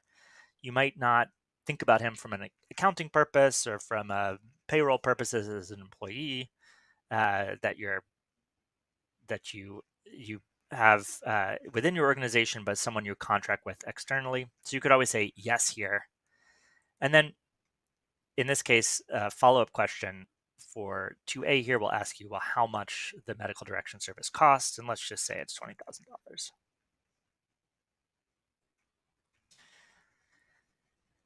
There's a set of questions here, number three, asking why your organization doesn't report using staff in the different categories that you did not check off. So if you'll remember for the EMT response staff, we said we used paramedics exclusively across a couple different volunteer paid and then with and without fire categories. So there are quite a few categories here for each of these. We can just say this labor category is not part of our ground ambulance operation, but is paid for or provided at no cost for another entity. You could say one or more of these staff do perform these functions, but we assign them to another category per the instructions maybe most commonly you'd say, we do not have staff in this labor category. So I'll just go ahead and click that for each of these so we can proceed.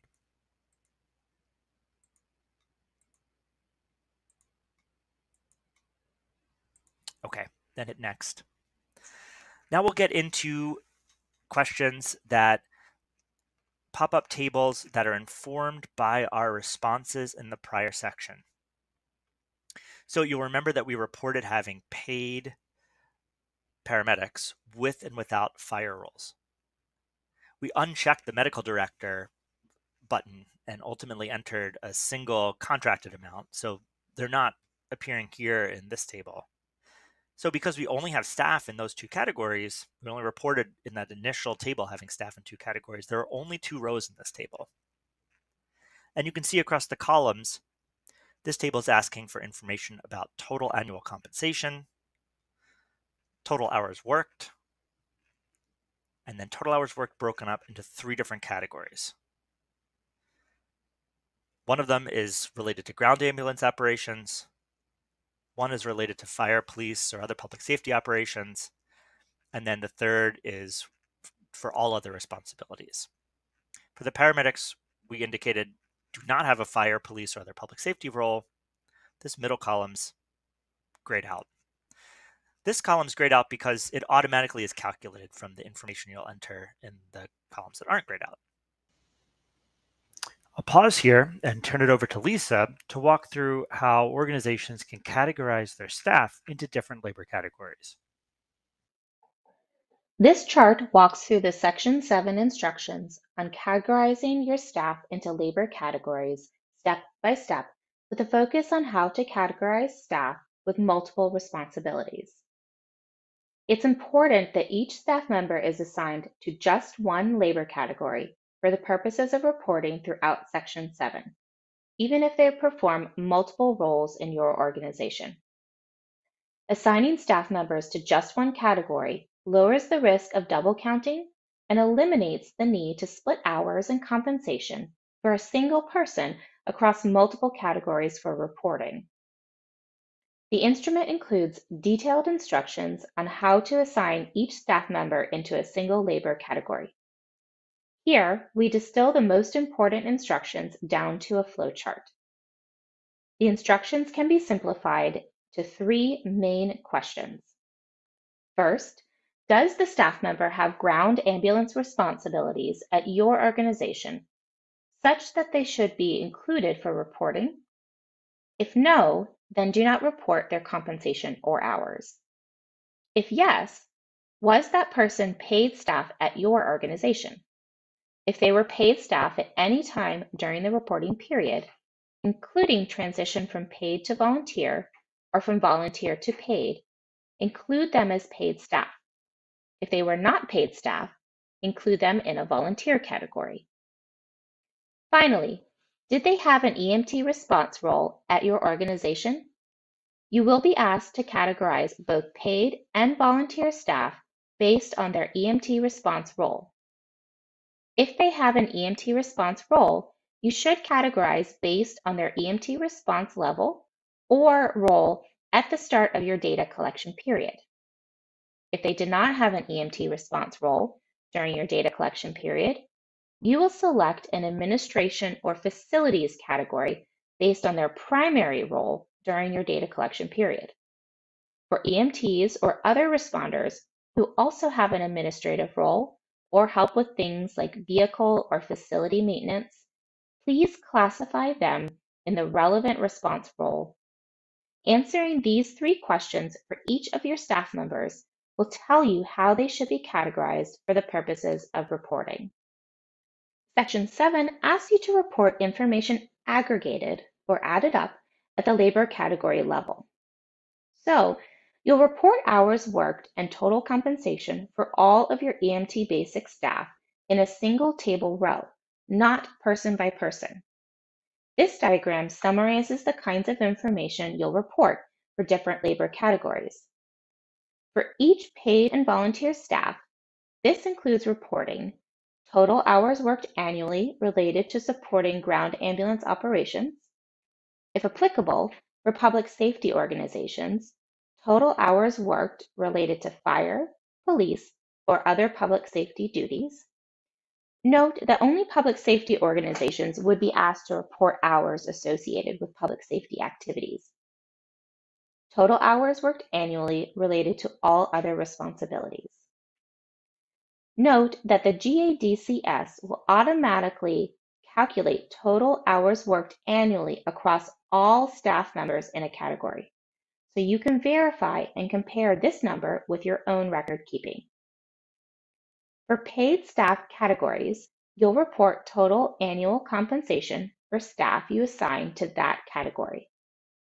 For volunteer staff, you'll be asked to report the total number of individuals who were volunteers and the total costs related to volunteers. This may include stipends, allowances, or other benefits.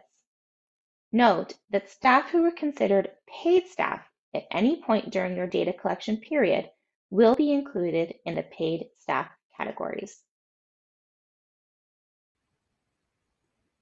So you'll notice down at the bottom of the screen, there's another one of these blue boxes indicating that there's a question that wasn't asked because in section two, we said we weren't part of a larger parent organization. That will come up again and again as we go through the, the instrument. Uh, again, if you had gone back to section two and answered that question yes, then you would be asked to input an allocated cost for labor at that broader parent organization level. But again, not appearing here on page five in section seven. So go ahead and enter some, um, some numbers here so we can proceed. Let's say that our paramedics make $50,000 and we have two of them in each of these categories. So one important instruction, if you click on the instructions here and read through them here, you'll find a definition of total annual compensation. This is a very broad amount that covers not just salary or wages, but benefits too, and and basically the total compensation over the entire 12 month data collection period for your staff in that category. So let's assume that our two EMT paramedics that do not have a fire role worked full time and made $50,000 each. What's important is that we're not going to report them on separate rows here. We include them in one row and then add them up. So 2 times 50,000 is $100,000. So I'll enter that information right here. Let's say we also have two EMT paramedics that are firefighters as well. So let's say they have the same total compensation. I'll enter $100,000 here as well.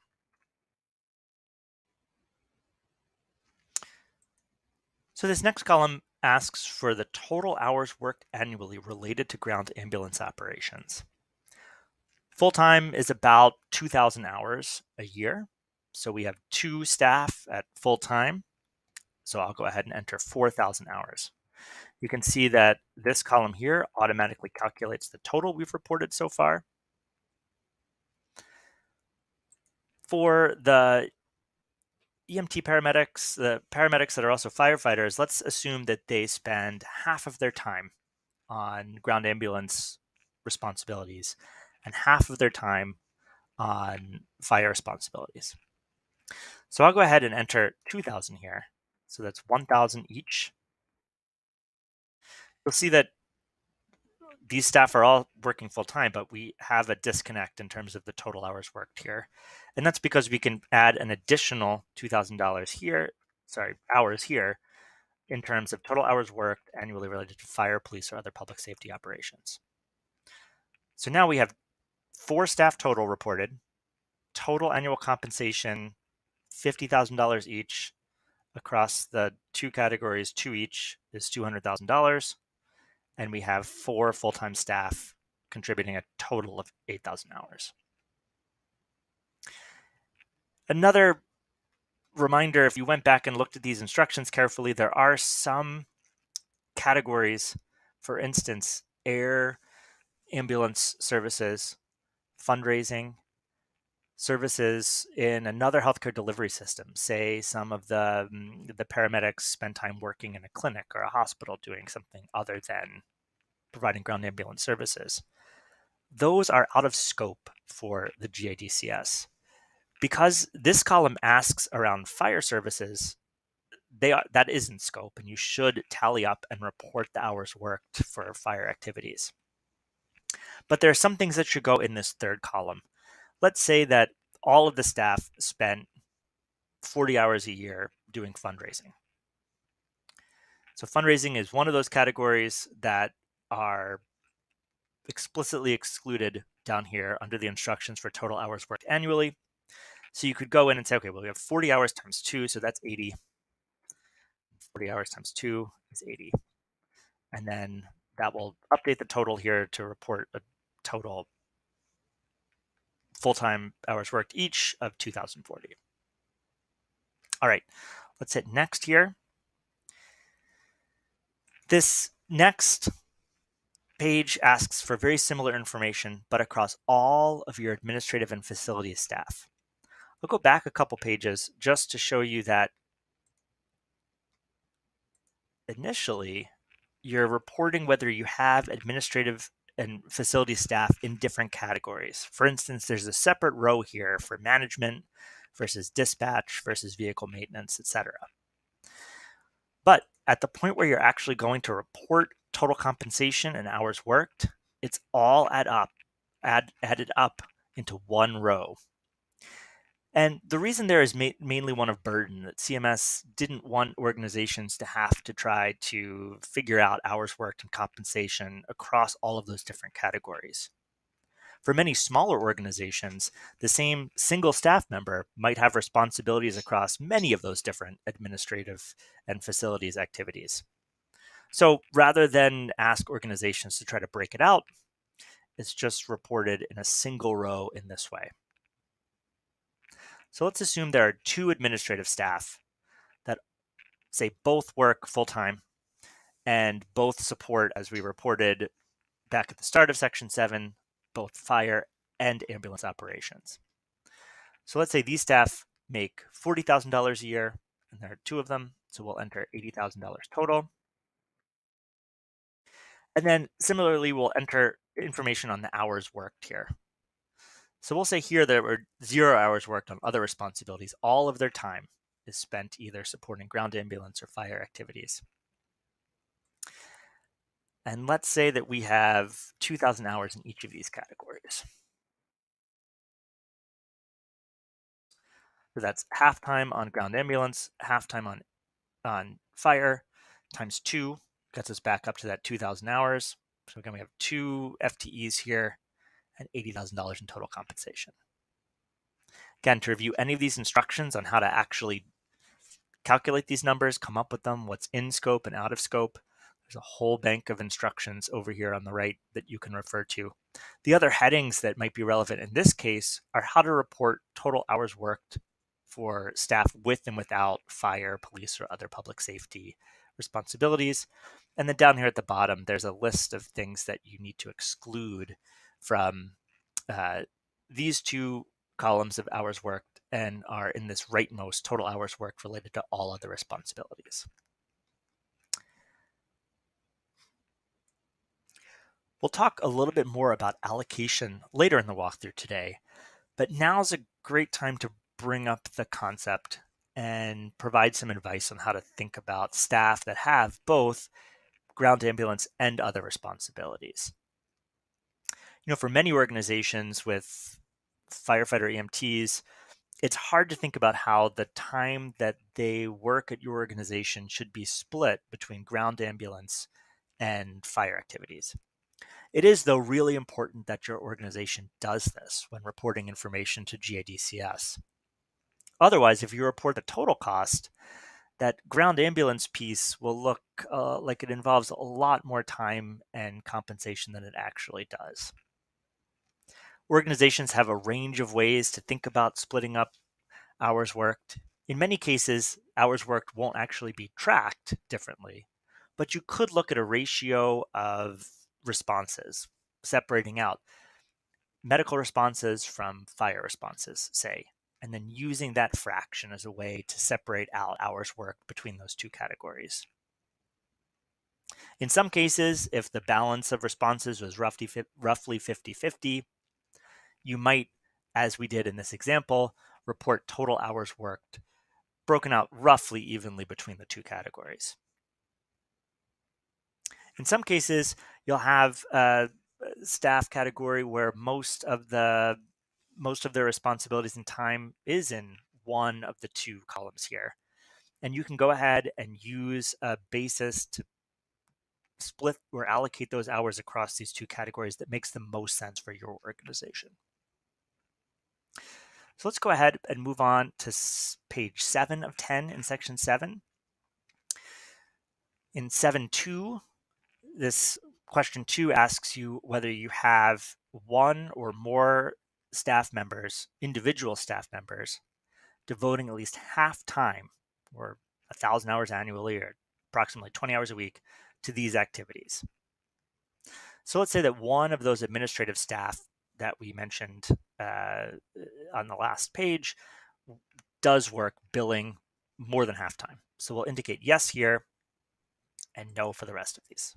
We still do these other activities, but not more than a half an FTE on any of them for an individual person.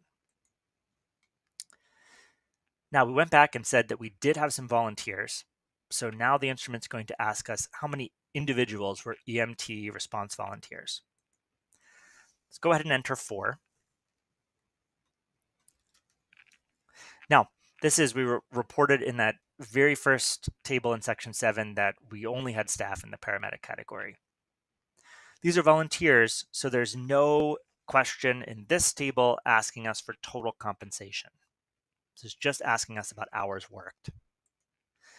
In order to move forward quickly, I'll put in the same numbers we used for other prior page. Of course, you would tailor these so that they would match the actual hours worked at your organization. Go ahead, hit next. In the very first table in section seven, we said we didn't have any volunteers in the administration or facilities category. So this pop-up is telling us that we don't have any questions to answer on this page. Now, CMS recognizes that organizations sometimes do provide some uh, payments to volunteers in the form of stipends or honoraria, benefits, other kinds of compensation. If that applies to your organization, you can say yes here.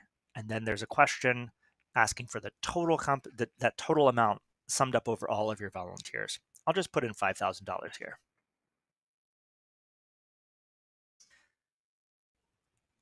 One other note before we finish up section seven, uh, there is a question here that asks specifically about medical director labor if the medical director volunteers. So there are a couple of different places where depending on how what your relationship looks like between your organization and its medical director, a couple of different places where you might enter information about your medical director's hours worked and in the prior sections compensation. So congratulations for making it through section seven. Uh, I encourage you to take a look at those instructions before you start reporting information and um, to think carefully through the way that the table will look and just understand how many rows your organization and columns your organization will have to have to report. This is a great example of a section that works much more smoothly in the web-based version of the GADCS that customizes the questions you're asked to your prior responses compared to the printable version. The printable version in that PDF file has all of the rows and columns in there because it needs to address every scenario. But given the way that Section 7 builds over time in the web based version, you should only expect to see the columns and rows that apply to your organization. So we'll return to the dashboard and then get ready to dive into section 8 on facilities costs. All right, we're back at the dashboard more than halfway through the total GADCS and through section 7. So now we'll pick up with section 8, which is facilities costs. A lot of similarities between section 8 and section 9. So I'll review section 8 in a little more detail and then cruise through section 9 a little more quickly. It's important to note that there is a decision that organizations need to make before getting too far into Section 8 or Section 9. There's an option to use an Excel based template to enter your information into that template and then to import the file into the GADCS, or to go through, as we've been going through, page by page through the system itself and entering information directly. If you hit start, you'll see that the Section 8 introduction walks you through the basic choice here and then has an option that presents you to either enter directly just through the through your web browser as we've been doing or to upload a file. I'm going to pause here and let Sarah talk through some of the considerations around using the optional template or entering directly through the GADCS portal. The purpose of Section 8 is to learn more about the facilities your organization uses in its ground ambulance operations. Some organizations will have just one or two facilities, while others will have many. The GADCS requires information to be listed separately for each facility, and you will have the option to input this information directly into the web based interface or to input information into an Excel template which can then be uploaded into the GADCS. Regardless of which path you choose, you will be able to review your answers in the web-based portal and then complete the rest of the section there as well. Use of the templates is completely optional and there are no hard and fast rules about when to use them. In general, it may make more sense for organizations to use the templates if they have more than five facilities. In general, the templates require a little more upfront work, but may save time if you have a lot of information to input. For more information on when and how to use templates, you can refer to a previous webinar on using facility and vehicle templates, as well as a selection of previous webinars on other topics at the website listed on the screen. You can also find this in other past webinars on the GADCS by Googling CMS Ambulance Services Center and clicking on Ambulance Events. Great. Thanks, Sarah. I'm going to go ahead and click enter directly and we'll walk through the version of this uh, section 8 and section 9 where we're just entering the information in directly.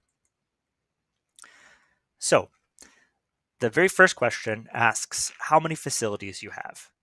As with many of the other questions in the GADCS, there's a specific um, specific instruction that they are related to your ground ambulance operations. So if you're a fire department based ground ambulance organization and you have some facilities that are purely fire in function, um, then you would not include them in this total. So let's say we have two. Let's say we have administrative building where things like billing, dispatch happens, and then uh, uh, a station where we house the fire trucks and ambulances and, and dispatch out of. So we'll say two. Now, the next question that pops up will ask for a name. This name is for your reference only. We'll just enter administration and station.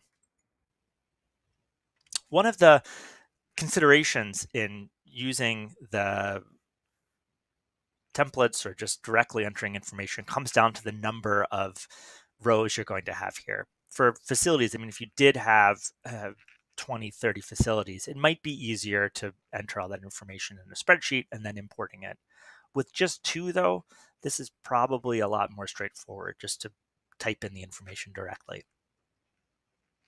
No matter whether you use the templates or are entering this information directly, there are some links between these questions you're answering about the total number of facilities and the names. If I were to go and change this to three, you'll see it adds a row. If I were to change it from three to one, though, you'll see that it would take one of the rows where I've already entered information away. And so this is an example of this, a loss of data warning that pops up just to make sure this is really what you want to do. And that by hitting yes, you're going to lose a row. Go ahead and hit yes, just you'll see what happens. It takes that second station away. I can go back and change that to two. It'll bring it back as blank, and I can go ahead and re-enter station. All right, moving on to section eight, question three. There's some initial questions here asking for each of the facilities separately, whether it was rented or leased, mortgaged, owned outright, owned outright, or donated, along with the square footage and the percent of that square footage used for ground ambulance purposes. So as I mentioned earlier, this broader topic of determining what percentage is related to ground ambulance service we call allocation. And it can get uh, uh, not not difficult, but it can take some thinking ahead of time to come up with an approach that works for your organization and that most closely aligns the information you're going to be reporting to GADCS with the actual share of, in this case, facility expenses across the different purposes, the different services that your organization provides. So for the administration building, you might come up with one share. For the station, you might come up with another. I'll pause here, turn it back over to Sarah to walk through a couple of basic considerations and examples around allocation. It's important to remember that the scope of GADCS is limited to your organization's ground ambulance costs and revenue. That's the scope that Congress laid out and CMS implemented, and it makes sense because the GADCS data are going to be used by MedPAC to assess the adequacy of Medicare payment rates for ground ambulance services. We use the term allocation to describe the process of divvying up costs that are related to ground ambulance operations and those which are not. We'll also sometimes use the term allocation factor, which refers to the specific share of a total amount that your organization determines is related to ground ambulance operations. The concept of allocation is important in a few places throughout the GADCS. For example, when considering facilities costs in Section 8, some of your facilities may be used for both ground ambulance activities and other types of activities such as fire, police, hospital, or government activities.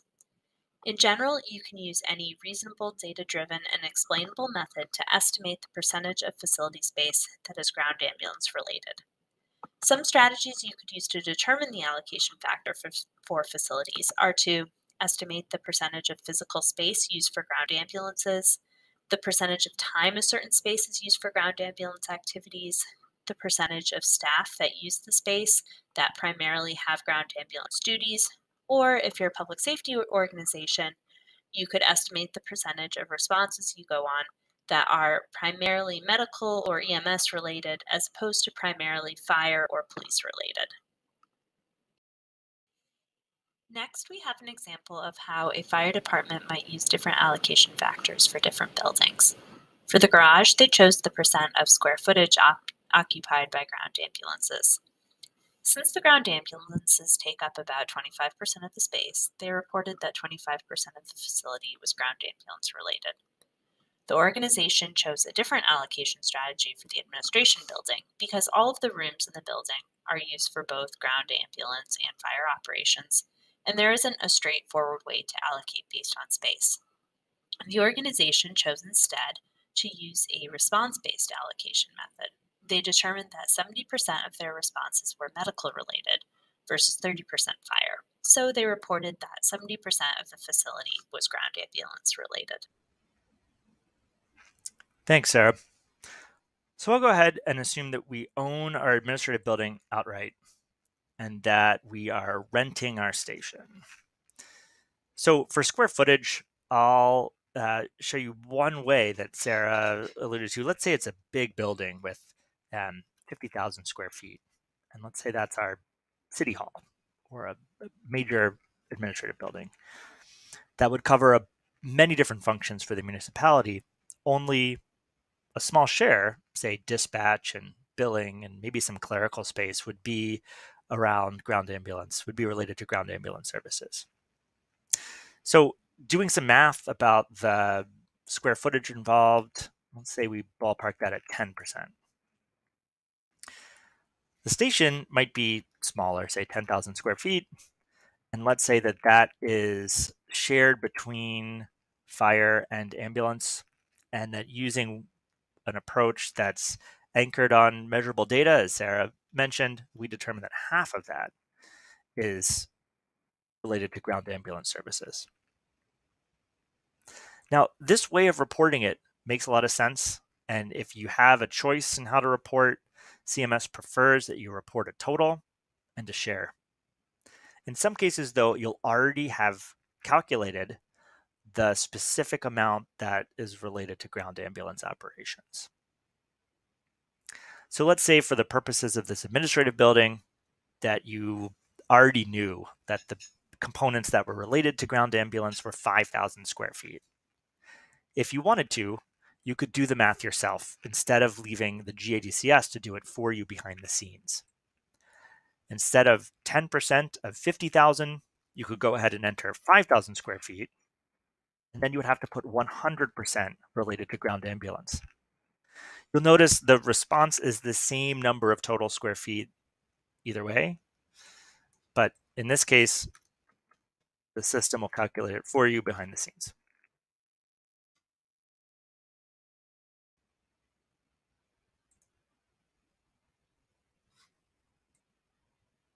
All right, on section 8, page 2, there's a question about whether your organization calculated annual depreciation expenses for some or all of your facilities. So we indicated earlier that the administrative building was owned outright. We'll go ahead and say yes, that we do calculate depreciation.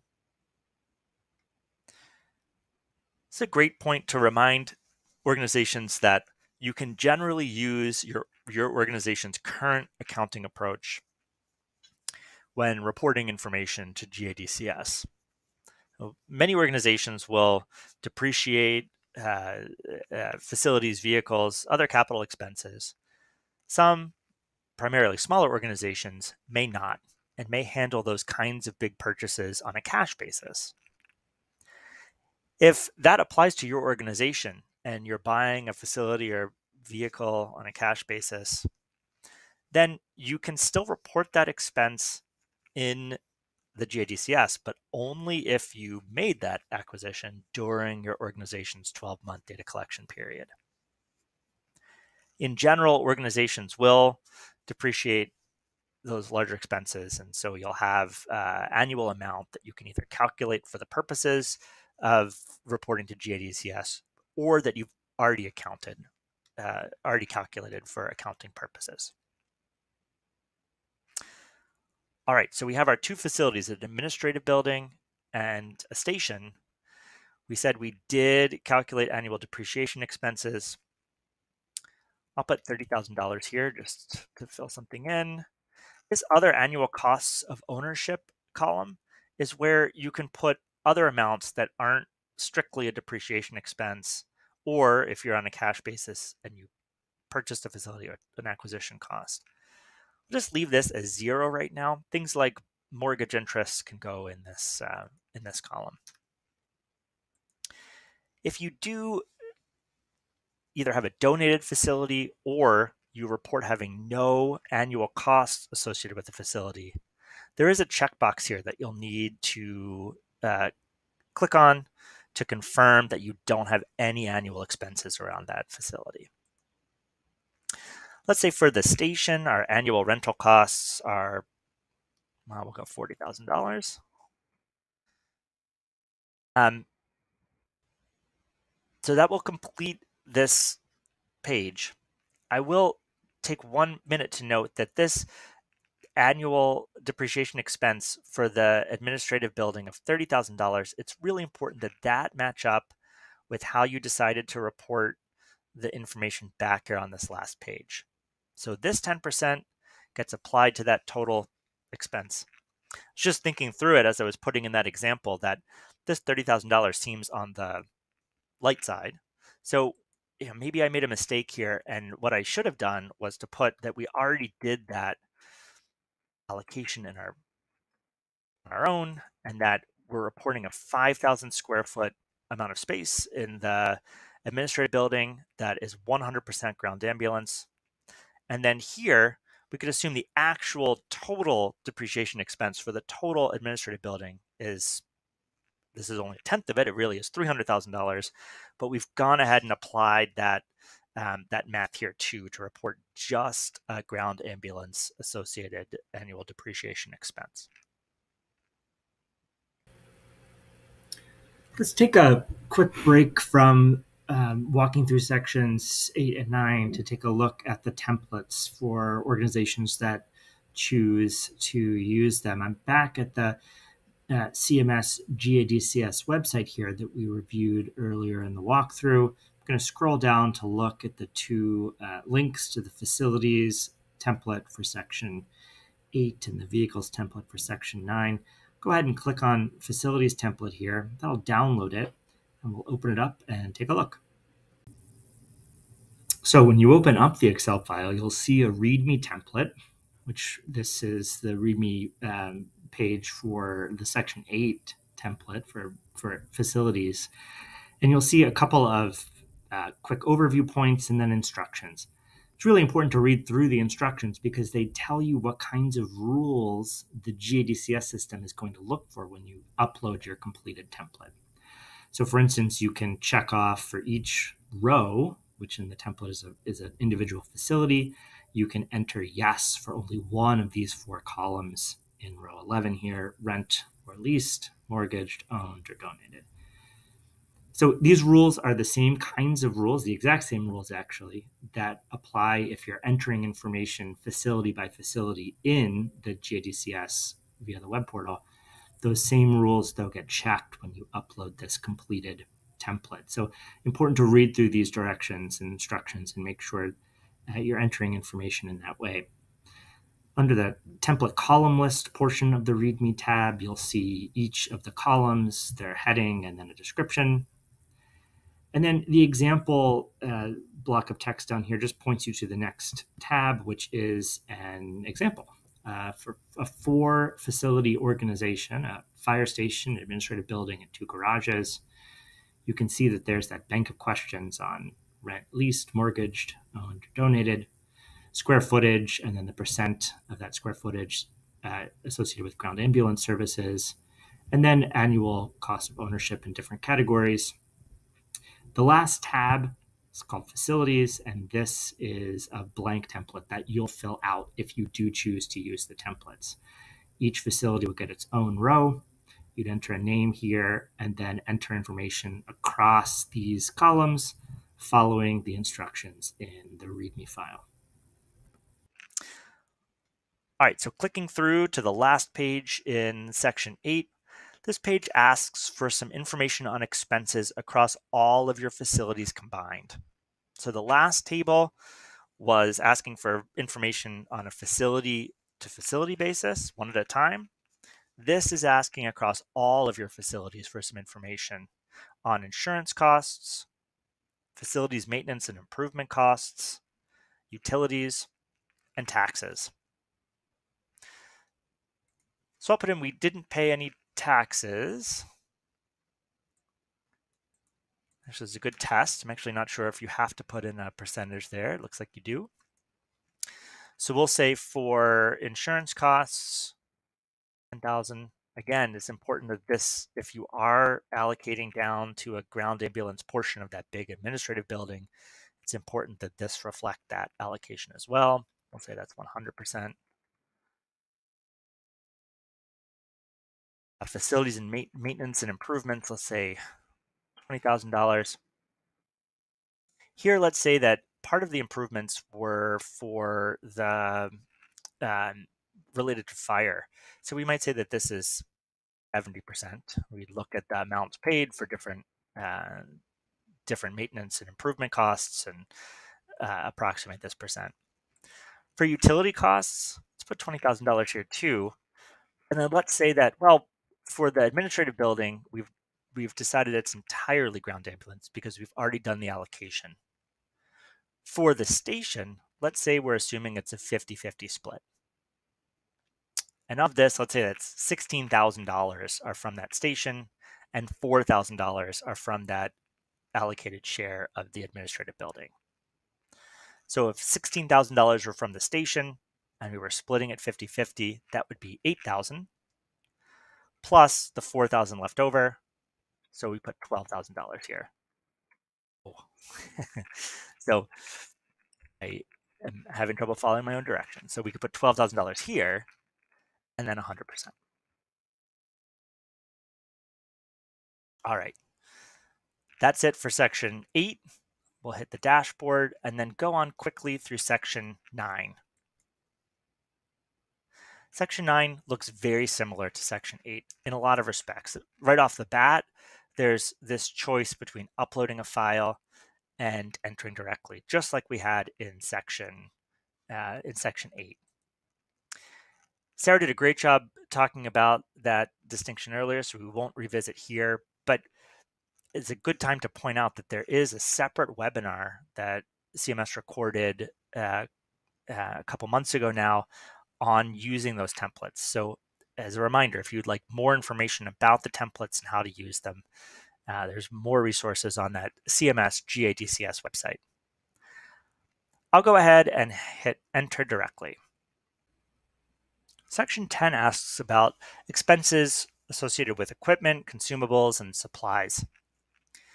So a couple of bullet points here before you enter the section. It's a reminder to basically use your organization's current accounting practices in terms of distinguishing between um, expenses that are or aren't uh, capitalized um, and to think about that amount of an expense that's related to your ground ambulance operations. So if you are a fire department based ground ambulance organization or a hospital based ground ambulance organization, just be sure that the numbers you report here, the expenses you report in section 10, one way or the other, reflect just that ground ambulance perspective. And as Sarah mentioned a little earlier, the two main ways to do that are to do the math yourself and be sure that the number the numbers you report are just for ground ambulance, or you can report a total expense and then a share of that total expense that are associated with uh, that's associated with ground ambulance operations. So there are a couple different sections to section 10 subsections. We walk through different categories of medical equipment and supplies and non-medical equipment and supplies. And then each of those are split into two uh, components, one for capital medical, equi medical equipment or non-medical equipment, and the other for non-capital equipment. So we start off with section 10.1, question one very first question is whether your organization calculated annual depreciation expenses for some or all of your capital medical equipment. This might be ventilators, power lifts, defibrillators, um, expensive uh, uh, medical equipment that many organizations would uh, would depreciate over time. So I'll go ahead and say yes. Now, unlike sections 8 and 9, section 10 doesn't ask you to report information for individual pieces of equipment. Instead, it's asking for a total amount over all of it. So through your accounting system or other record system, um, you could tally up the uh, depreciation expenses across all of your uh, medical equipment. So let's say this is $30,000. If you did purchase medical equipment that you did not calculate annual depreciation expenses for, you could report that here. I'll just assume that we did capitalize all of those purchases and enter zero. There's a separate question down here for renting and or interest payments related to capital, capital medical equipment. I'll assume that we don't have any, but your organization very well may. There's a separate line here for maintenance, certification, and service costs. So much of this equipment is serviced and, and, and inspected, certified on a regular basis. I'll say this is $10,000. Now here's this question on allocation. You can see that question sub, sub question C here asks for the percentage of capital medical equipment attributable to ground ambulance services. In this case, because we're talking about medical equipment, odds are for many organizations, most of it, if not all of it, will be related to ground ambulance operations. But you could imagine where you have some equipment that might be shared between a ground and air ambulance operation, say, or maybe equipment that's used in a ER setting and then also used by EMS on ambulances. So in this case, we'll assume that that doesn't happen and that 100% of this capital medical equipment expense is associated with our ground ambulance operation. There's a separate question here asking whether your organization had costs associated with medications.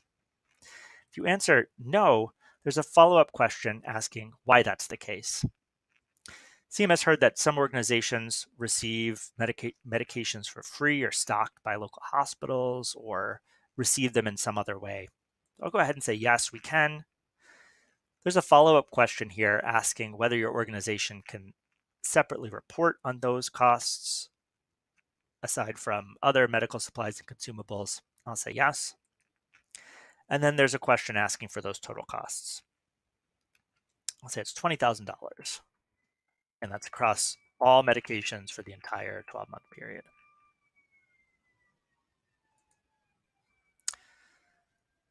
Now we're into 10.1, which is still medical equipment and supplies, but now we're into the um, uh, equipment and supplies you're purchasing outright here. So this is um, smaller ticket items, bandages, gloves, oxygen, etc.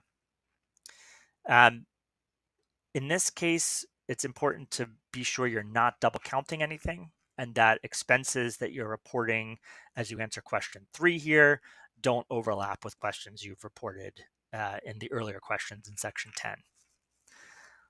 I'll say this is $30,000. Here again is one of these allocation questions. And as with the capital medical equipment question, it's unlikely that this will be much below 100% for most organizations, although there are some exceptions. I'll go ahead and say 100% here too. So while we're here and talking about these allocation questions, before we get into the non-medical equipment where that allocation factor might vary a little bit, I'll pause, turn it back over to Sarah to walk through some specifics on allocation using some Section 10 examples. Some organizations will need to allocate expenses reported in Section 10. This table covers the main Section 10 expense categories and lists examples of the expenses that may require allocation. For example, capital medical equipment, medications, and medical supplies are generally, generally 100% related to your organization's ground ambulance services.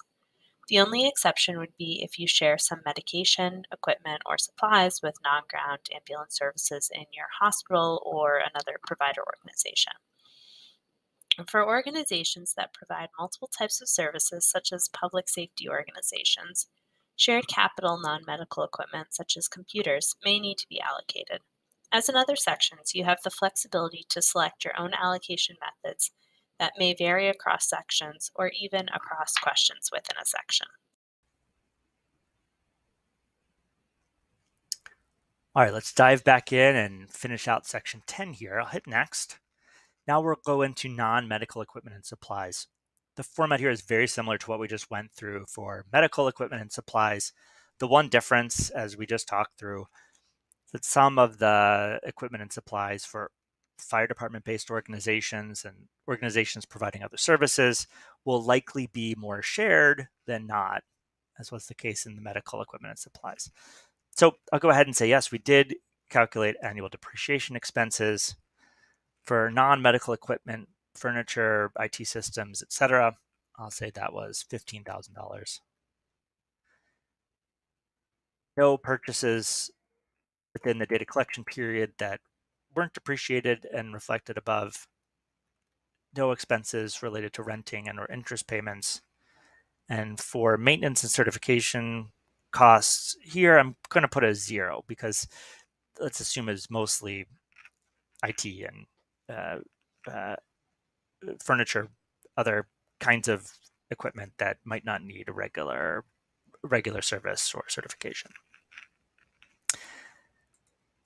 Now here's that allocation question for non-medical capital equip, uh, equipment. And here in our fire department based example, I'll go ahead and enter 50%. Different ways to calculate this allocation factor. You could go on a share of operating budget or um, as a share of square footage in some cases. I think through the different alternatives and use the approach that makes the most sense for your organization. It's a separate question here in section 10.2, question 2, asking about uniforms. For some organizations, this will be an expense. For others, it may not be. Go ahead and put $3,000 in for uniforms.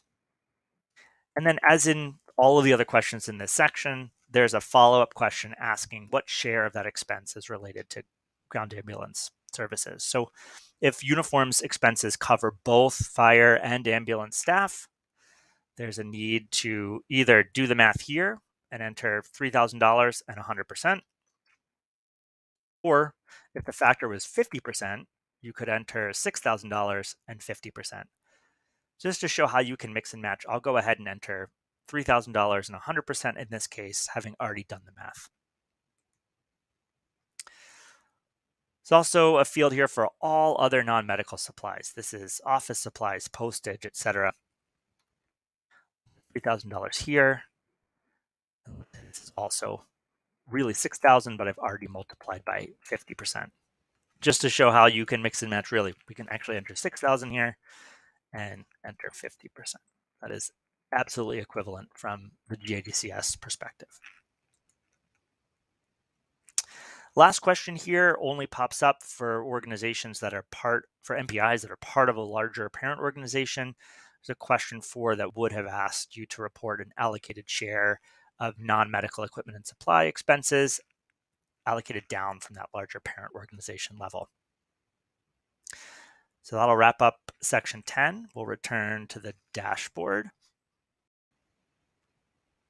We'll click on section 11, other costs. Section 11 is a kind of catch-all if there are expenses that you're tracking in your uh, your budget, your accounting system, any kind of expense that you haven't reported in sections 7 through 10, you should find a home for it in section 11. It's really important that the scope of expenses that you're reporting via GADCS cover all of the expenses associated with operating your ground ambulance operation. So think about anything that might have been left out and section 11 can for sure accommodate it. I'll walk through some a couple of different categories of those expenses. First one has to do with outside contracted services. So if you don't handle billing or accounting or vehicle maintenance, dispatch, facilities maintenance, IT, if any of those services you're contracting out to a different company and you haven't reported them yet, question one in section 11 is the place to do that. So a couple different components here. There's a first a checkbox that says contracted service during your organization's data collection period. And then for the ones that you check off, you can enter a total cost for the service. That's the amount of the contract for the 12 month data reporting period, data collection period, rather. And then an amount attributable to ground ambulance services. So let's say that our organization does contract out billing and pays $50,000 a year. We're only billing for ambulance services. So let's say that's 100%. Let's say we also, though, contract out dispatch to um, an adjacent municipality. Let's say we chip in and pay $60,000 a year for that, but that also covers fire dispatching. And let's say our ratio of medical to fi- medical to total calls is roughly 50%. Might put 50% down as the percent attributable to ground ambulance services. So those kinds of contracted services cover a lot of different ground. If there's a kind of contracted service you have that's not in this list, you can always check the other box here and then write in a specification. As in some of the other write in questions, there's only one row here. So if you have multiple you need to enter, you can use a semicolon to separate different responses. Go ahead and hit next. Now, this is a long page that scrolls down through many different categories of other expenses, other costs your organization might have that you haven't reported up to this point in the instrument. Things like laundry, biohazard waste, travel, dues, subscriptions, board of directors, trustee expenses, event and meeting costs, etc. It's important to remind you to only include expenses in this section 11 that you haven't reported up to this point in one of the other sections. So let's say we do have a couple of these. All of the ones that you check off will ask you to report an expense on the next page. So let's say we have um, uh, IT, I checked off biohazard up here, and I'll do one more. Let's say fees for toll roads. There's also a um, write-in field here. If there's an expense you want to make sure you include and it hasn't hasn't been asked up to this point and isn't in this list, you can write it in here. So then we'll hit next. Now I check three. So you'll see there are three rows here in section 11, question four. And for each of those, it's asking me for an expense. I'll go ahead and enter $1,000 for biohazard waste and medication removal fees, $5,000 for IT, and $1,000 for tolls.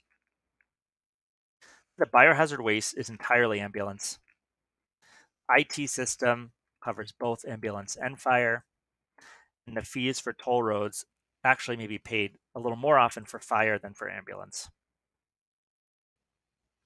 So go ahead and enter in those percentages.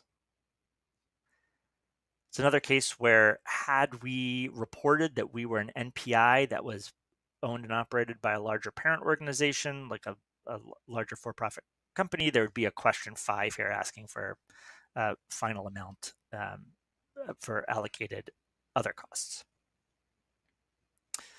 So that wraps up section 11. And if you've gotten to this point in the GADCS and you have an expense you feel like you have not reported yet, I'd hit the previous button go back and change one of your earlier answers, you can always go back and check this other box and enter it in. You want to make sure that the total amount here that you've reported up to this point reflects all of the expenses for operating for running your ground ambulance organization. Go ahead. This is many people's favorite section coming up next, section 12, because it's exactly one question. And here it's just uh, very directly the total expenses to operate your organization. Now, this is one of just two places in the instrument where the expenses explicitly include the scope for this question, explicitly in includes your entire operation.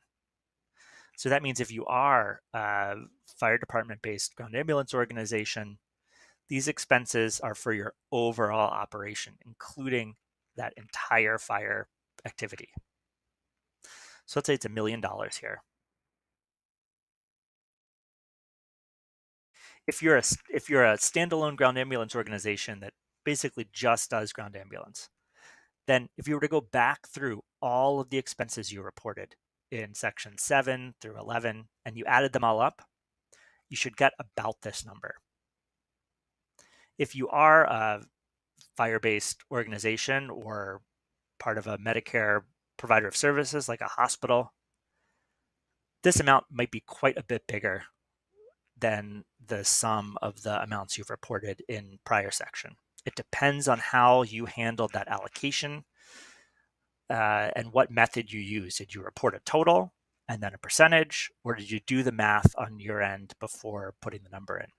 Again, either way is fine from the perspective of GADCS, but doing more of that math ahead of time before you enter information will mean that if you were to go back and sum up the numbers you've reported, they could be quite a bit less than this total cost you report in section 12.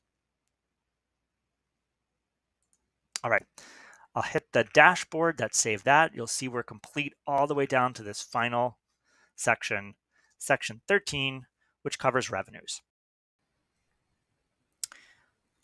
All right, let's hit start for section 13. Revenues is the last section. Now, this is a change in focus a little bit. The first few sections handled um, organizational characteristics and information about the type and mix of services you provide. Sections 7 through 12 covered expenses. And now section 13 is asking about revenue. So we start off right out the gate with section 13, question 1, which is the second of two. We just answered the first of two in section 12. This is the second of two questions asking about your, the scope is uh, asking about your entire operation, revenue from across the board. So that means not just limited to ground ambulance operations. So we reported we had total costs of a million. Let's say that we have a total revenue of 1.1 million black. Good news. So then question two asks whether we can report revenue from ground ambulance transports, specifically from individual healthcare payers like Medicare or Medicaid commercial insurance. If you hit no, then you're going to report one revenue amount for all payers combined. If it's at all possible, CMS strongly prefers you would hit yes here and then on the next page, you'll see there's a table that has rows for different kinds of payers. You click off the ones that you received revenue from during your data collection period. So let's say this organization had fee for service Medicare revenue, Medicare Advantage revenue, traditional Medicaid, managed care Medicaid, but maybe not TRICARE. Say yes to VHA, yes to commercial insurance, no to workers' comp, and yes to patient self pay. A couple of important notes here. The first one is that there's a column on the right asking whether for that row, for the amount you're going to put into total revenues, does that amount include patient cost sharing? So there are two possibilities. One is that your accounting system, as you're getting payment in for services that you're billing to Medicare beneficiaries and to Medicare, the 20% cost sharing that patients are on the hook for, if they don't have supplemental coverage, they're paying that cash. Is that amount included in this number or not? If it's not included, CMS thinks chances are it's going to be included down here in the patient self pay.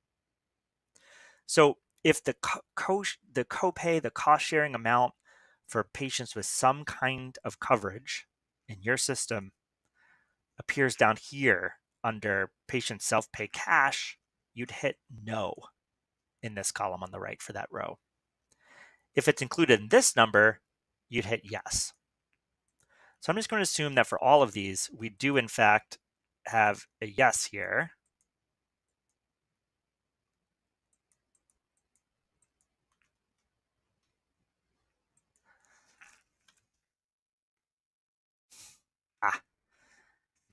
Figured out it only works if you already put in a number. Um, so let's assume that we have, uh, I should go 200,000 for Medicare, uh, 50,000 for Medicare Advantage,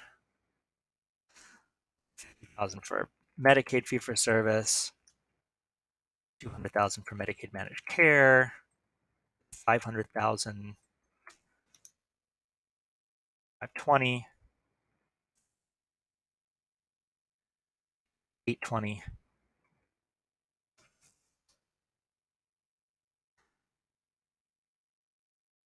and I'll put yes for all of these and just to emphasize this if there was an amount um, that say for commercial say for commercial insurance, the cost sharing would appear here. You'd hit no, and then this amount would likely shrink a little bit, and this amount would likely go up a little bit. All right, so this is all revenue from ground ambulance transports. A couple other notes here. There are cases where your organization may receive revenue from other kinds of services involving ground ambulance, treatment at the scene, um, para, paramedicine, other other related services where you may be you may be going to patients providing services, um, but it's not a paid ground ambulance transport per se. If possible, CMS prefers that these numbers be limited just to ground ambulance transport revenue. You can report revenue from other kinds of services related to your EMT paramedic staff and, and ambulances. You can report those a few questions later in section 13. So still in scope would still be reported, but the preference is this information would be limited just to ground ambulance transports. I mentioned way back in section six that billing companies can provide a lot of that information in terms of the uh, uh, the mix of services across different types of ground ambulance transports. This is another place that for many organizations, if you're not doing billing in-house, chances are your billing company already has a report that looks along these lines that they could share with you. Hitting next, this will go to page three of four in section 13. And this is a set of questions that ask how often you bill for patients uh, with different types of coverage. You know, it's interesting. I, I think the presumption is that ground ambulance organizations will often bill when they can, although there are some cases, say, uh, due to a very low low number, a small number of transports with a particular kind of coverage, and maybe administrative hurdles to get paid um, from certain sources of coverage, you might just not bill. In other cases, there may be patients that um, you only bill sometimes, like Medicaid patients. Um, maybe if there's a strong indication that uh, uh, that the patient may be churning in and out of Medicaid, rather than go down that route of billing and and um, and uh, have to end up ultimately billing a patient, you might just not bill all the time. So that might be a reason why you'd answer something other than always here. Maybe it's usually or sometimes, or as a policy at your organization, never for some of these cases. So it's important you answer each of these. If you don't have patients transported, you'd answer NA. And if you always bill, you just go down the row here and hit always. I think I said we did not have TRICARE uh, I think we, said we did have VHA, no workers' comp. And let's say for patient self-pay, that's a usually. In some cases, when when patients uh, aren't able to pay, there are times where uh, uh, they're not billed. Hitting next takes you to the last page of the GADCS, and this is a lot like that last table in section 11 around other costs. this is other revenues. So this is any revenue that you haven't reported up to this point. The revenue you reported earlier in section 13 really only covers ground ambulance transports. And so to the extent you're bringing in revenue from your um, contractual arrangements with facilities or neighboring areas, to the extent there's uh, earmark tax revenue coming to fund your operation, to the extent your municipality covers your expenses. There's a whole range of um, categories here. And then, as in other sections, there's a write in field at the end. So let's say that we uh, primarily get, um, let's see, so we're government owned and operated. Let's say we primarily are financed out of local taxes earmarked for EMS services.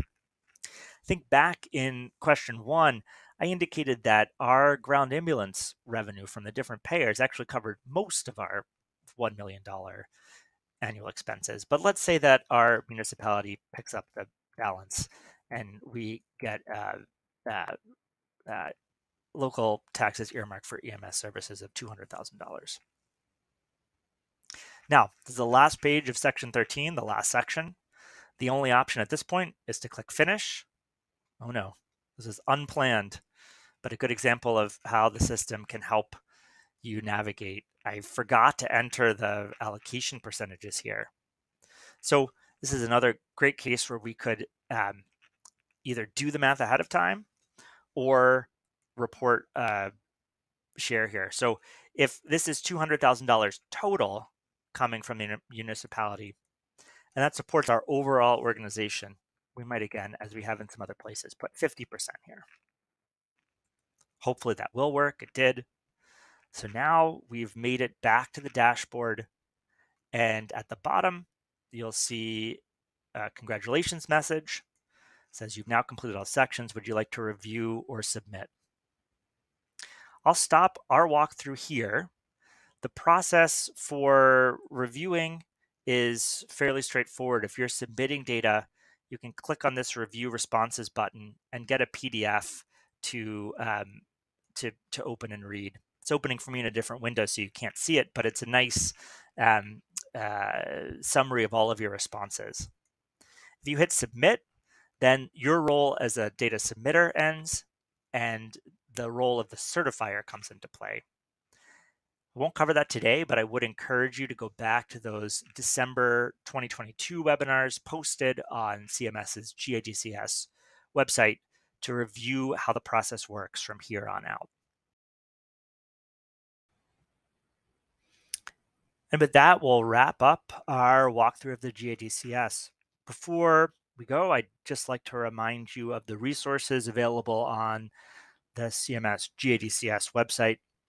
Talked through these at the very beginning of today, but I'll pop them up one more time. An FAQ document that has an increasing, increasingly long list of frequently asked questions and responses. The files you need to look at to see and confirm if you're participating in year one or year two, where the reporting period for many organizations is open right now as of January 2023. Or if you're collecting information starting at some point uh, in 2023, the year three and year four organizations. It's also that printable version of the, the ground ambulance uh, data collection system instrument that I've mentioned a couple times. Uh, it's the printable version of the questions we just walked through. The tip sheets are relatively new, posted just this month in January 2023, and offer some uh, shorter format help on different aspects that we've talked about during the walkthrough. And just want to also point out our user guide, which is a rather lengthy document walking through screens and pages in the GADCS step by step, and the facilities and vehicles templates I mentioned earlier. The webinars, I've referenced a few of them today during the walkthrough, um, and I do want to call your attention specifically to the December 8 and December 15 webinars that give you more information on the IT account and system side of all of this, as well as at the end of completing your submission, which we walk through, the certifier role and how to wrap up your organization's submission to CMS. So with that, and on behalf of CMS, I'd like to thank you for watching through this walkthrough and best of luck to everyone in collecting and reporting your information to GADCS. Thank you.